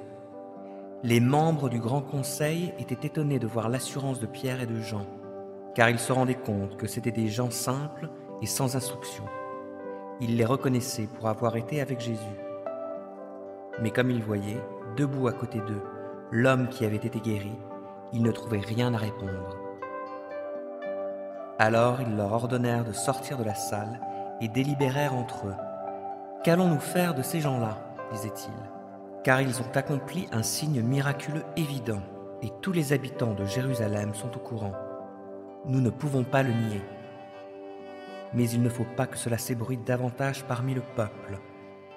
Défendons-leur donc, sous peine de sanction, de parler désormais à qui que ce soit au nom de Jésus. Là-dessus, ils les firent rappeler et leur interdirent formellement de parler ou d'enseigner au nom de Jésus. Mais Pierre et Jean leur répondirent, Jugez-en vous-même, est-il juste devant Dieu de vous obéir plutôt qu'à Dieu? Quant à nous, nous ne pouvons pas garder le silence sur ce que nous avons vu et entendu. Après leur avoir fait de nouvelles menaces, ils les relâchèrent. En effet, ils n'avaient pas trouvé de moyen de les punir, parce que tout le peuple louait Dieu pour ce qui venait d'arriver. L'homme qui avait été miraculeusement guéri était âgé de plus de quarante ans. Sitôt libérés, Pierre et Jean se rendirent auprès de leurs amis et leur racontèrent tout ce que les chefs des prêtres et les responsables du peuple leur avaient dit. Après les avoir écoutés, tous, unanimes, se mirent à prier Dieu, disant Maître, c'est toi qui as créé le ciel, la terre, la mer et tout ce qui s'y trouve. C'est toi qui as dit par l'Esprit Saint qui s'est exprimé par la bouche de notre ancêtre David, ton serviteur, pourquoi tant d'effervescence parmi les nations? Et pourquoi les peuples trament-ils ces complots inutiles? Les rois de la terre se sont soulevés et les chefs se sont ligués contre le Seigneur et son Messie. En effet, c'est bien une ligue qu'Hérode et Ponce Pilate, les peuples étrangers et les peuples d'Israël ont formée dans cette ville contre ton saint serviteur Jésus que tu as choisi comme Messie. Ils n'ont fait qu'accomplir tout ce que tu avais décidé d'avance dans ta puissance et ta volonté. Maintenant, Seigneur, vois comme ils nous menacent et donne à tes serviteurs la force d'annoncer ta parole avec une pleine assurance. Étends ta main pour qu'il se produisent des guérisons, des miracles et d'autres signes au nom de ton saint serviteur Jésus. Quand ils eurent fini de prier, la terre se mit à trembler sous leurs pieds, à l'endroit où ils étaient assemblés.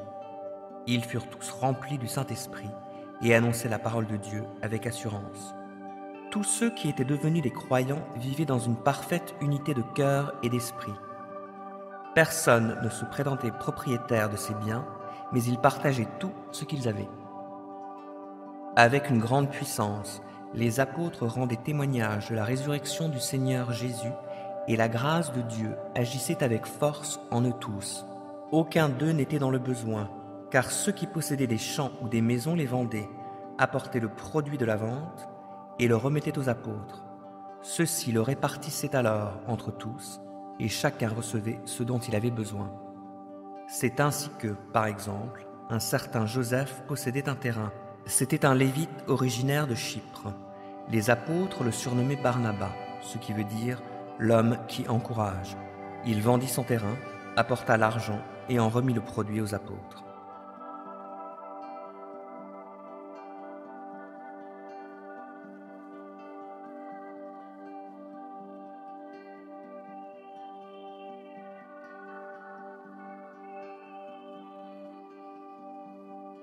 Acte 9.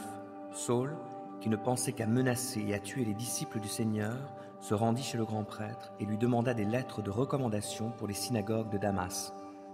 Ces lettres l'autorisaient, s'il trouvait là-bas des hommes ou des femmes qui suivaient la voie du Seigneur, à les arrêter et à les amener à Jérusalem. Il se dirigeait donc vers Damas et approchait déjà de cette ville quand soudain il fut environné d'une lumière éclatante qui venait du ciel. Il tomba à terre et entendit une voix qui lui disait Saul, Saul, pourquoi me persécutes-tu?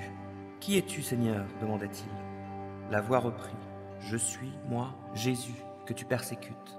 Mais relève-toi, entre dans la ville, et là on te dira ce que tu dois faire.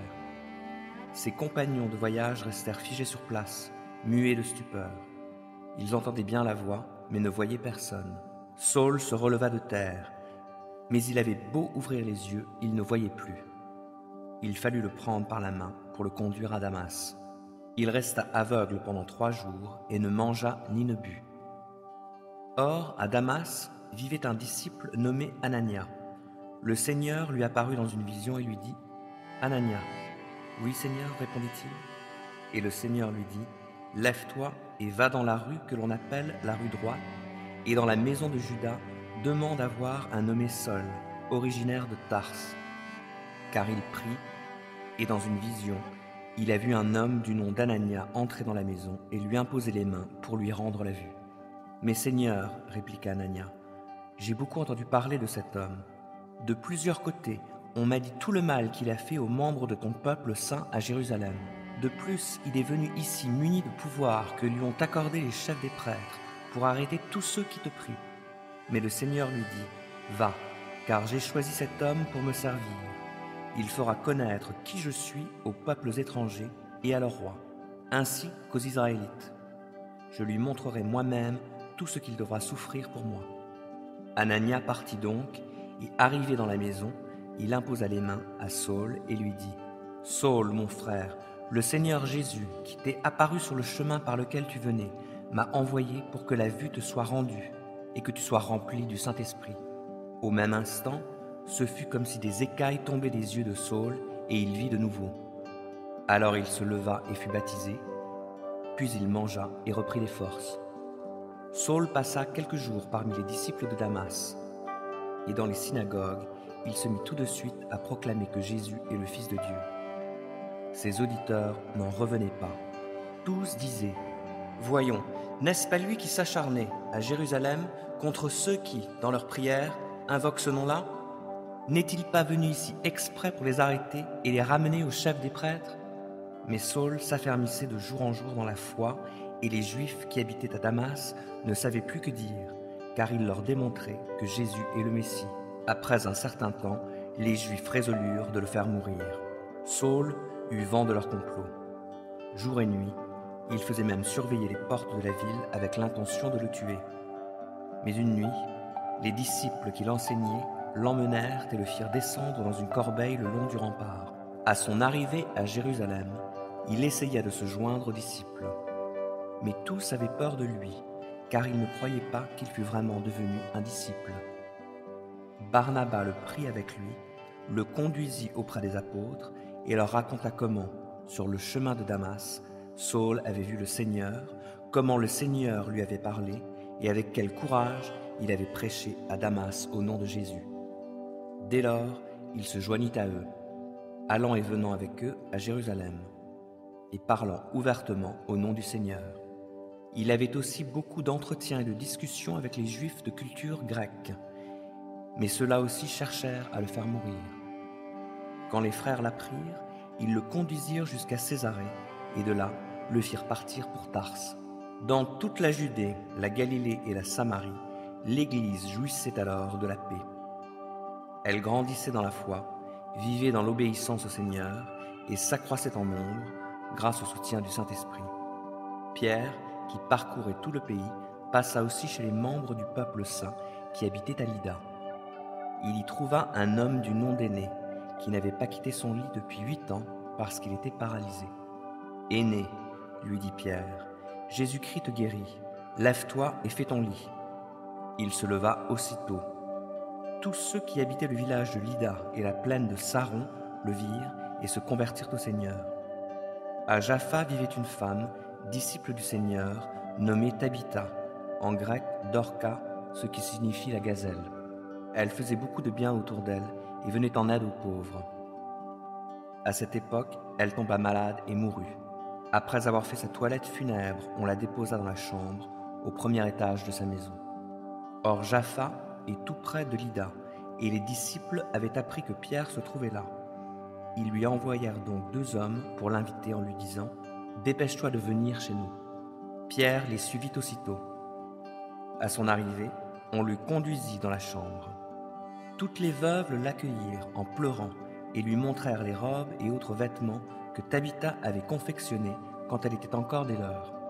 Pierre fit sortir tout le monde, se mit à genoux et pria. Puis, se tournant vers le corps, il dit Tabitha, lève-toi. Elle ouvrit les yeux, aperçut Pierre et s'assit. Celui-ci lui donna la main et l'aida à se lever. Puis il rappela les croyants et les veuves et la leur présenta vivante. La nouvelle eut vite fait le tour de la ville et beaucoup crurent au Seigneur. Pierre resta quelque temps encore à Jaffa. Il logeait chez un tanneur nommé Simon.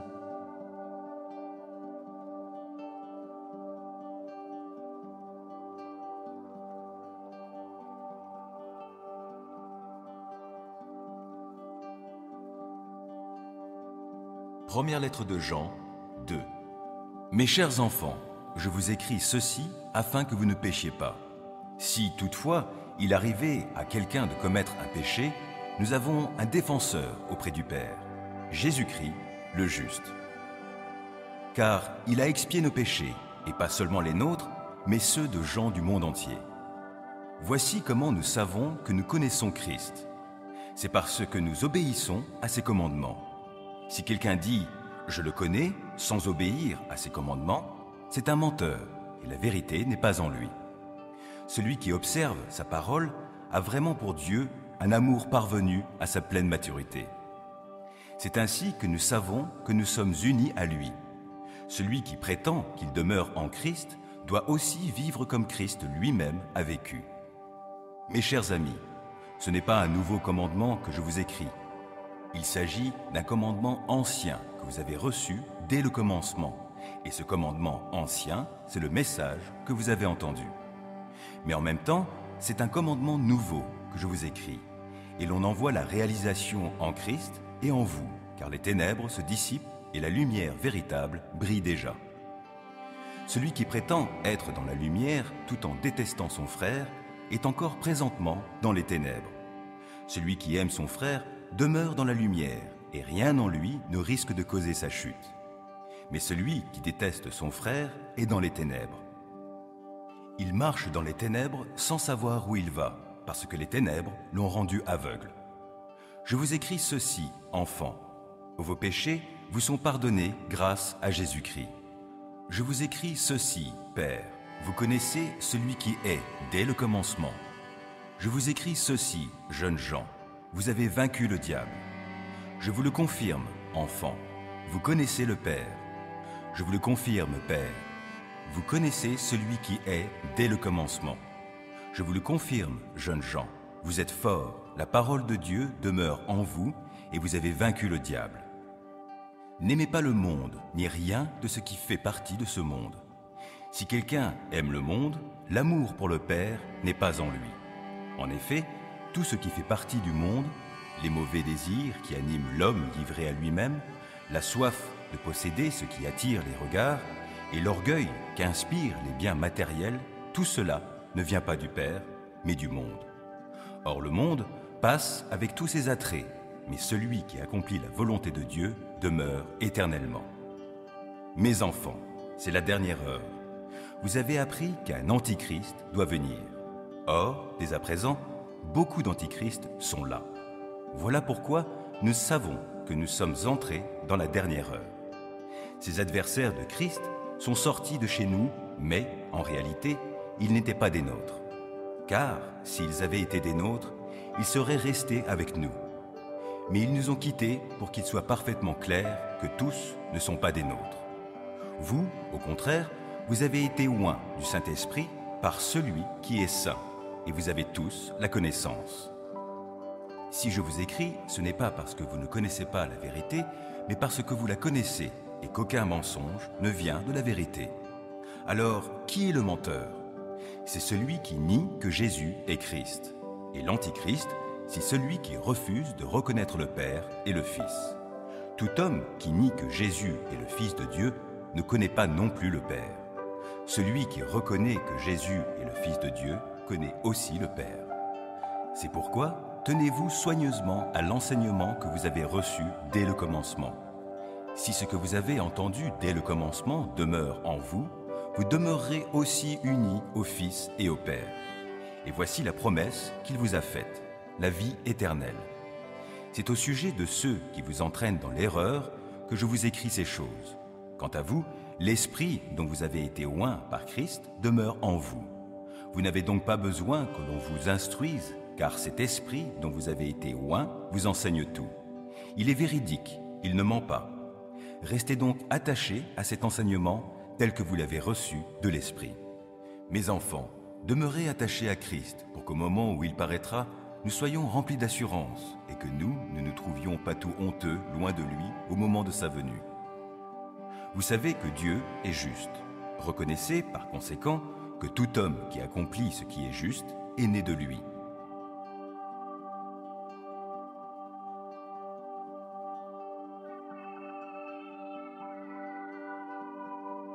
Psaume 92 Il est bon de louer l'Éternel de te célébrer par des chants, ô Très-Haut, et de proclamer dès le point du jour ton amour, tout au long des nuits ta fidélité, sur la cithare à dix cordes, sur le luth et sur la lyre. Ce que tu fais, Éternel, me remplit de joie, et j'acclamerai les ouvrages de tes mains.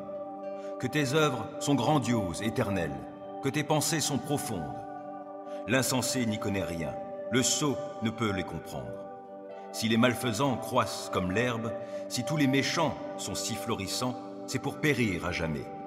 Mais toi, tu es tout là-haut, éternel, pour toujours. Car voici tes ennemis, éternel, car voici tes ennemis périssent, et tous ceux qui font le mal seront dispersés. Mais tu me remplis de force, je suis comme un buffle, Je me suis enduit d'huile fraîche. Je regarde tous mes détracteurs, j'entends tous mes adversaires qui s'emploient au mal. Car les justes poussent comme le palmier, ils grandissent comme un cèdre du Liban. Bien plantés dans la demeure de l'Éternel, ils fleurissent sur les parvis du temple de notre Dieu. Ils seront féconds jusqu'en leur vieillesse, et ils resteront pleins de sève et de vigueur.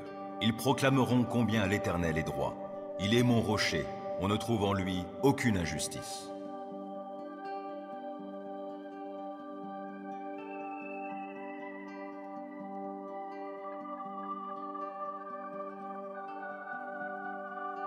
Psaume 23 L'Éternel est mon berger, je ne manquerai de rien. Grâce à lui, je me repose dans des prairies verdoyantes, et c'est lui qui me conduit au bord des eaux calmes. Il me ravigore, et, pour l'honneur de son nom, il me conduit sur le droit chemin. Si je devais traverser la vallée où règnent d'épaisses ténèbres, je ne craindrais aucun mal, car tu es auprès de moi. Ta houlette me conduit et ton bâton me protège. Pour moi, tu dresses une table aux yeux de mes ennemis. Tu oins d'huile parfumée ma tête. Tu fais déborder ma coupe. Oui, toute ma vie, ta bonté et ton amour me poursuivront, et je pourrai retourner au sanctuaire de l'Éternel tant que je vivrai.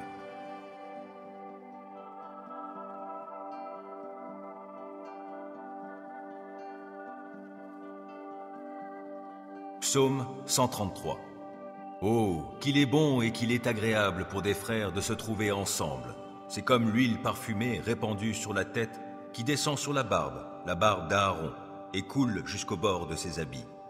C'est comme la rosée qui descend de l'Hermont sur le mont de Sion. C'est là que l'Éternel accorde sa bénédiction et la vie pour toujours.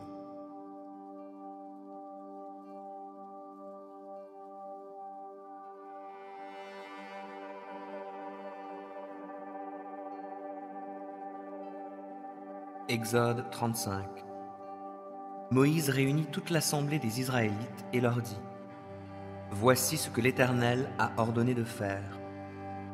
Vous ferez votre ouvrage pendant six jours, mais le septième jour sera pour vous un jour de repos complet, consacré à l'Éternel. Quiconque fera un travail ce jour-là sera mis à mort. Vous n'allumerez de feu dans aucune de vos habitations le jour du sabbat. Moïse dit à toute l'assemblée des Israélites, Voici ce que l'Éternel a commandé prélevez parmi vous une contribution pour l'Éternel. Toute personne qui le souhaite dans son cœur apportera à l'Éternel une contribution en bronze, en argent ou en or, ou des fils de pourpre violette ou écarlate, de rouge éclatant, du fin lin et du poil de chèvre, des peaux de bélier teintes en rouge, des peaux de dauphin et du bois d'acacia, de l'huile pour le chandelier et des aromates pour l'huile d'onction et le parfum aromatique, des pierres d'onyx et d'autres pierres à enchâsser pour l'éphod et pour le pectoral. Tous les gens habiles parmi vous, qu'ils viennent et exécutent tout ce que l'Éternel a prescrit. Le tabernacle, sa tente et sa couverture, ses agrafes, ses cadres, ses traverses, ses piliers et ses socles, le coffre sacré avec ses barres et le propitiatoire, le voile de séparation, la table, ses barres et tous ses accessoires, ainsi que les pains destinés à être exposés devant l'Éternel, le chandelier, ses ustensiles, ses lampes et l'huile d'éclairage, l'autel des parfums et ses barres, l'huile d'onction sainte, le parfum aromatique et le rideau pour l'entrée de la demeure, l'autel des holocaustes, sa grille de bronze, ses barres et tous ses accessoires, la cuve et son socle, les tentures du parvis, ses piliers, ses socles et le rideau pour l'entrée du parvis, les piquets du tabernacle, ceux du parvis et leurs cordages, les vêtements de cérémonie pour faire le service dans le sanctuaire, les vêtements sacrés pour le prêtre Aaron et ceux de ses fils pour l'exercice du sacerdoce. Puis la communauté des Israélites se retira de la présence de Moïse. Alors tous ceux dont le cœur les y disposait et qui en avaient la volonté vinrent apporter à l'Éternel leur contribution en vue de la construction de la tente de la rencontre, de tout l'ouvrage qui s'y rapporte et de la confection des vêtements sacrés. Tous ceux qui le souhaitaient de tout leur cœur, les hommes autant que les femmes, vinrent apporter des pendentifs, des boucles, des anneaux, des bracelets et toutes sortes d'ornements en or, et ils les offrirent à l'Éternel avec le geste de présentation. Tous ceux qui avaient chez eux des fils de pourpre violette ou écarlate, de rouge éclatant, du fin lin, du poil de chèvre, des peaux de bélier teintes en rouge et des peaux de dauphin les apportèrent. Tous ceux qui avaient mis de côté une offrande en argent et en bronze l'apportèrent à l'Éternel. Tous ceux qui avaient chez eux du bois d'acacia l'apportèrent pour tout l'ouvrage à réaliser. Toutes les femmes habiles filèrent le lin de leurs mains et apportèrent des fils de pourpre violette et écarlate, de rouge éclatant et du fin lin. Toutes les femmes habiles qui le désiraient de tout cœur filèrent les poils de chèvre. Les chefs du peuple apportèrent les pierres d'onyx et les pierres à enchâsser pour l'éphod et le pectoral, les aromates et l'huile pour le chandelier, pour l'huile d'onction et pour le parfum aromatique. Tous les Israélites, hommes et femmes, que leur cœur poussait à apporter quelque chose pour les ouvrages que l'Éternel avait ordonné d'exécuter par l'intermédiaire de Moïse, apportèrent leurs offrandes volontaires à l'Éternel. Moïse dit aux Israélites, Voyez, l'Éternel a désigné Betsaléel, fils d'Uri, descendant de Our de la tribu de Juda. Il l'a rempli de l'Esprit de Dieu qui lui confère de l'habileté, de l'intelligence et de la compétence pour exécuter toutes sortes d'ouvrages, pour concevoir des projets, pour travailler l'or, l'argent et le bronze, pour tailler des pierres à enchâsser, pour sculpter le bois et pour réaliser toutes sortes d'ouvrages. Il lui a aussi accordé, de même qu'à Oholiab, fils d'Aïsamak de la tribu de Dan, le don d'enseigner sa technique à d'autres. Il les a doués d'habileté pour exécuter toutes sortes de travaux de graveurs et de concepteurs, pour broder la pourpre violette, le rouge éclatant et le fin lin, pour réaliser des travaux de toutes sortes et concevoir des projets.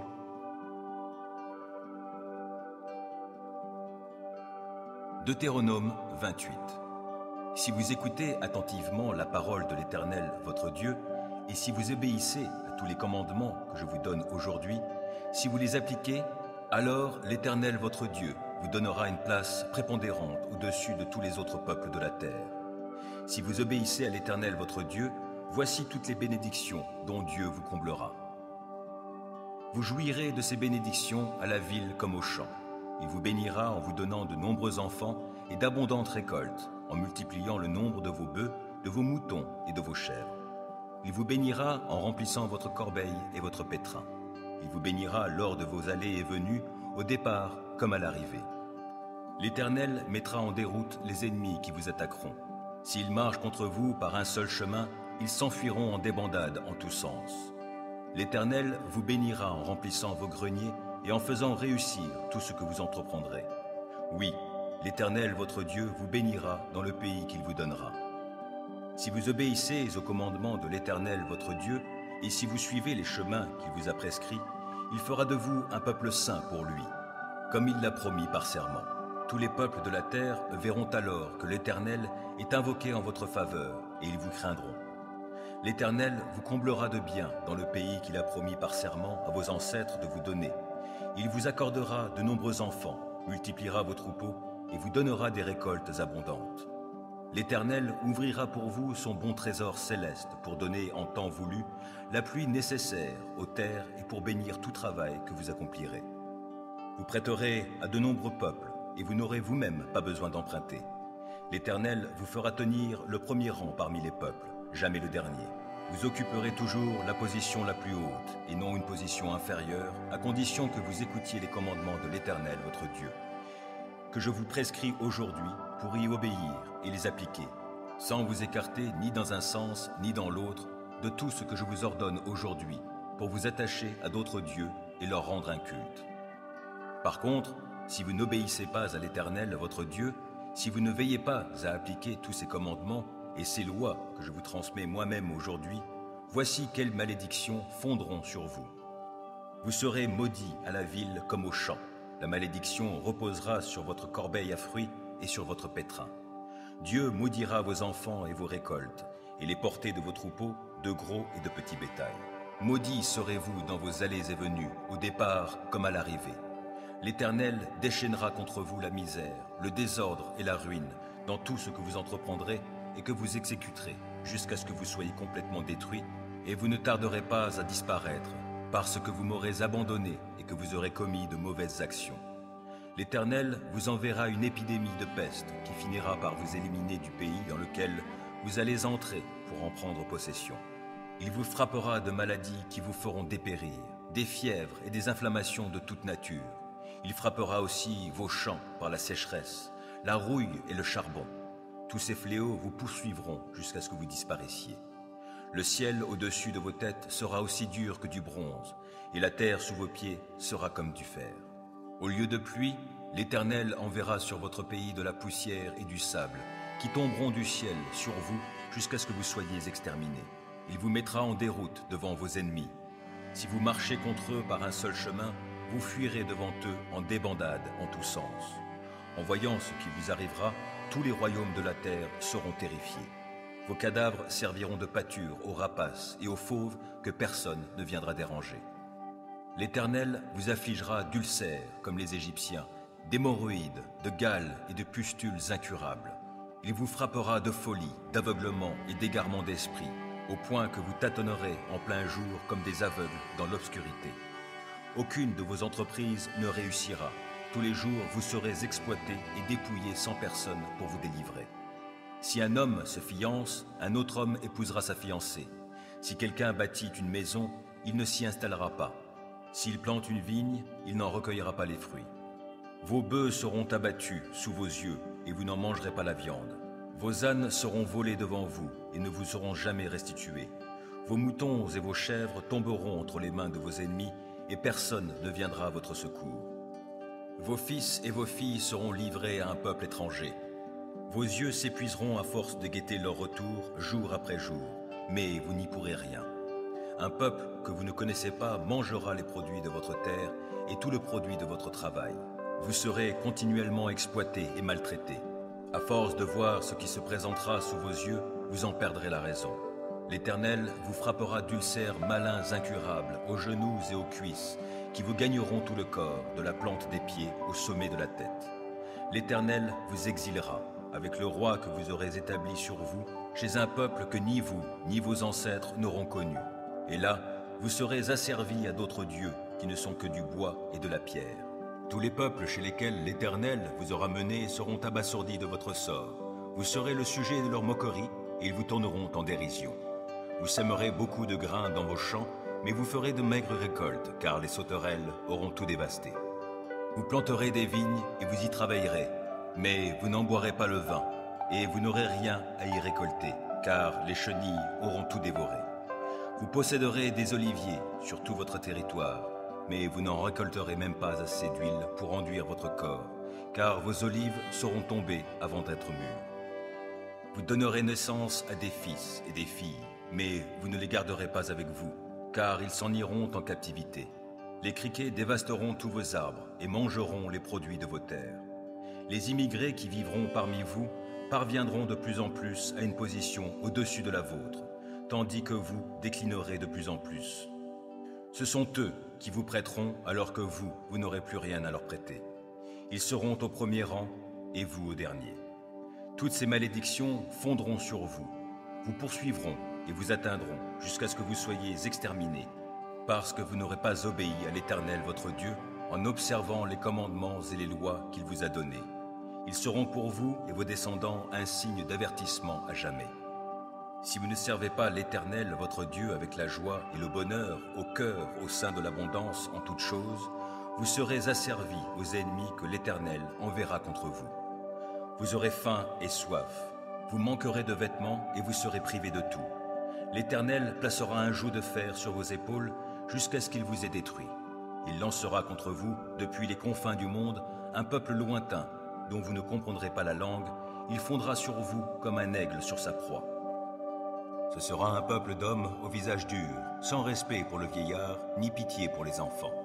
Ils dévoreront votre bétail et les produits de votre sol jusqu'à ce que vous soyez exterminés. Vous mourrez de faim, car ils ne vous laisseront ni blé, ni vin, ni huile, ni veau, ni agneau, ni chevreau, jusqu'à ce qu'ils vous aient fait périr.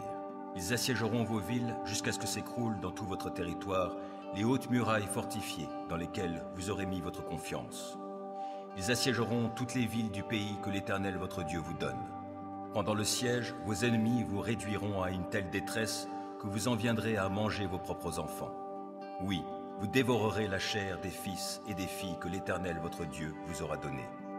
L'homme le plus délicat et le plus raffiné parmi vous regardera avec malveillance son frère, sa femme qu'il aura serré contre son cœur et les enfants qui lui resteront encore, de peur d'avoir à partager avec eux la chair de ses enfants, seule nourriture dont il disposera encore, dans la détresse à laquelle vos ennemis vous auront réduit en assiégeant toutes vos villes.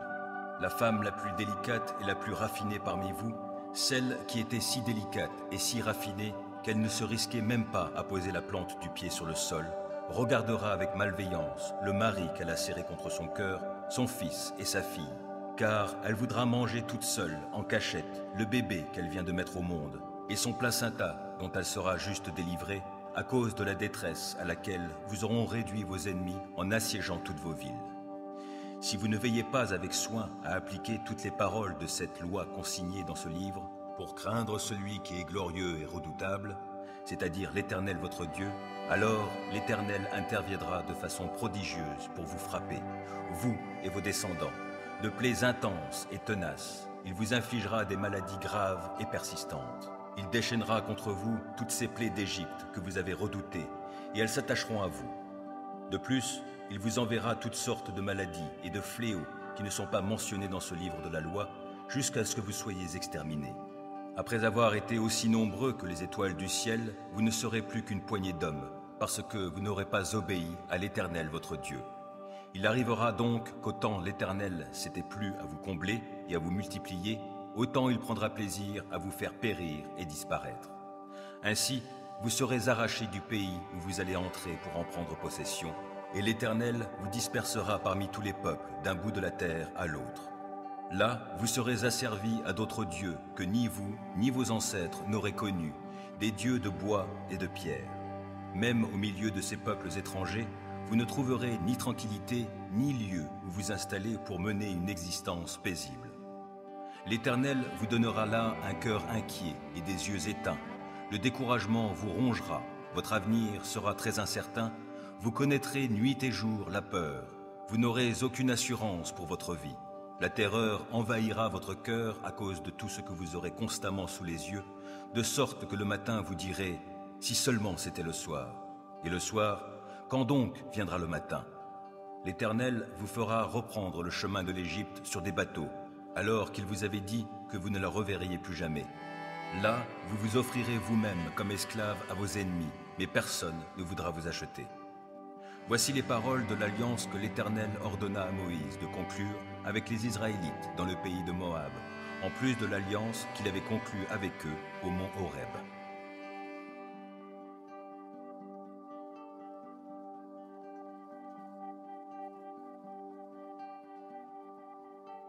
Psaume 23 L'Éternel est mon berger, je ne manquerai de rien. Grâce à lui, je me repose dans des prairies verdoyantes, et c'est lui qui me conduit au bord des eaux calmes.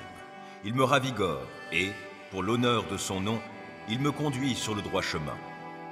Si je devais traverser la vallée où règnent d'épaisses ténèbres, je ne craindrais aucun mal, car tu es auprès de moi.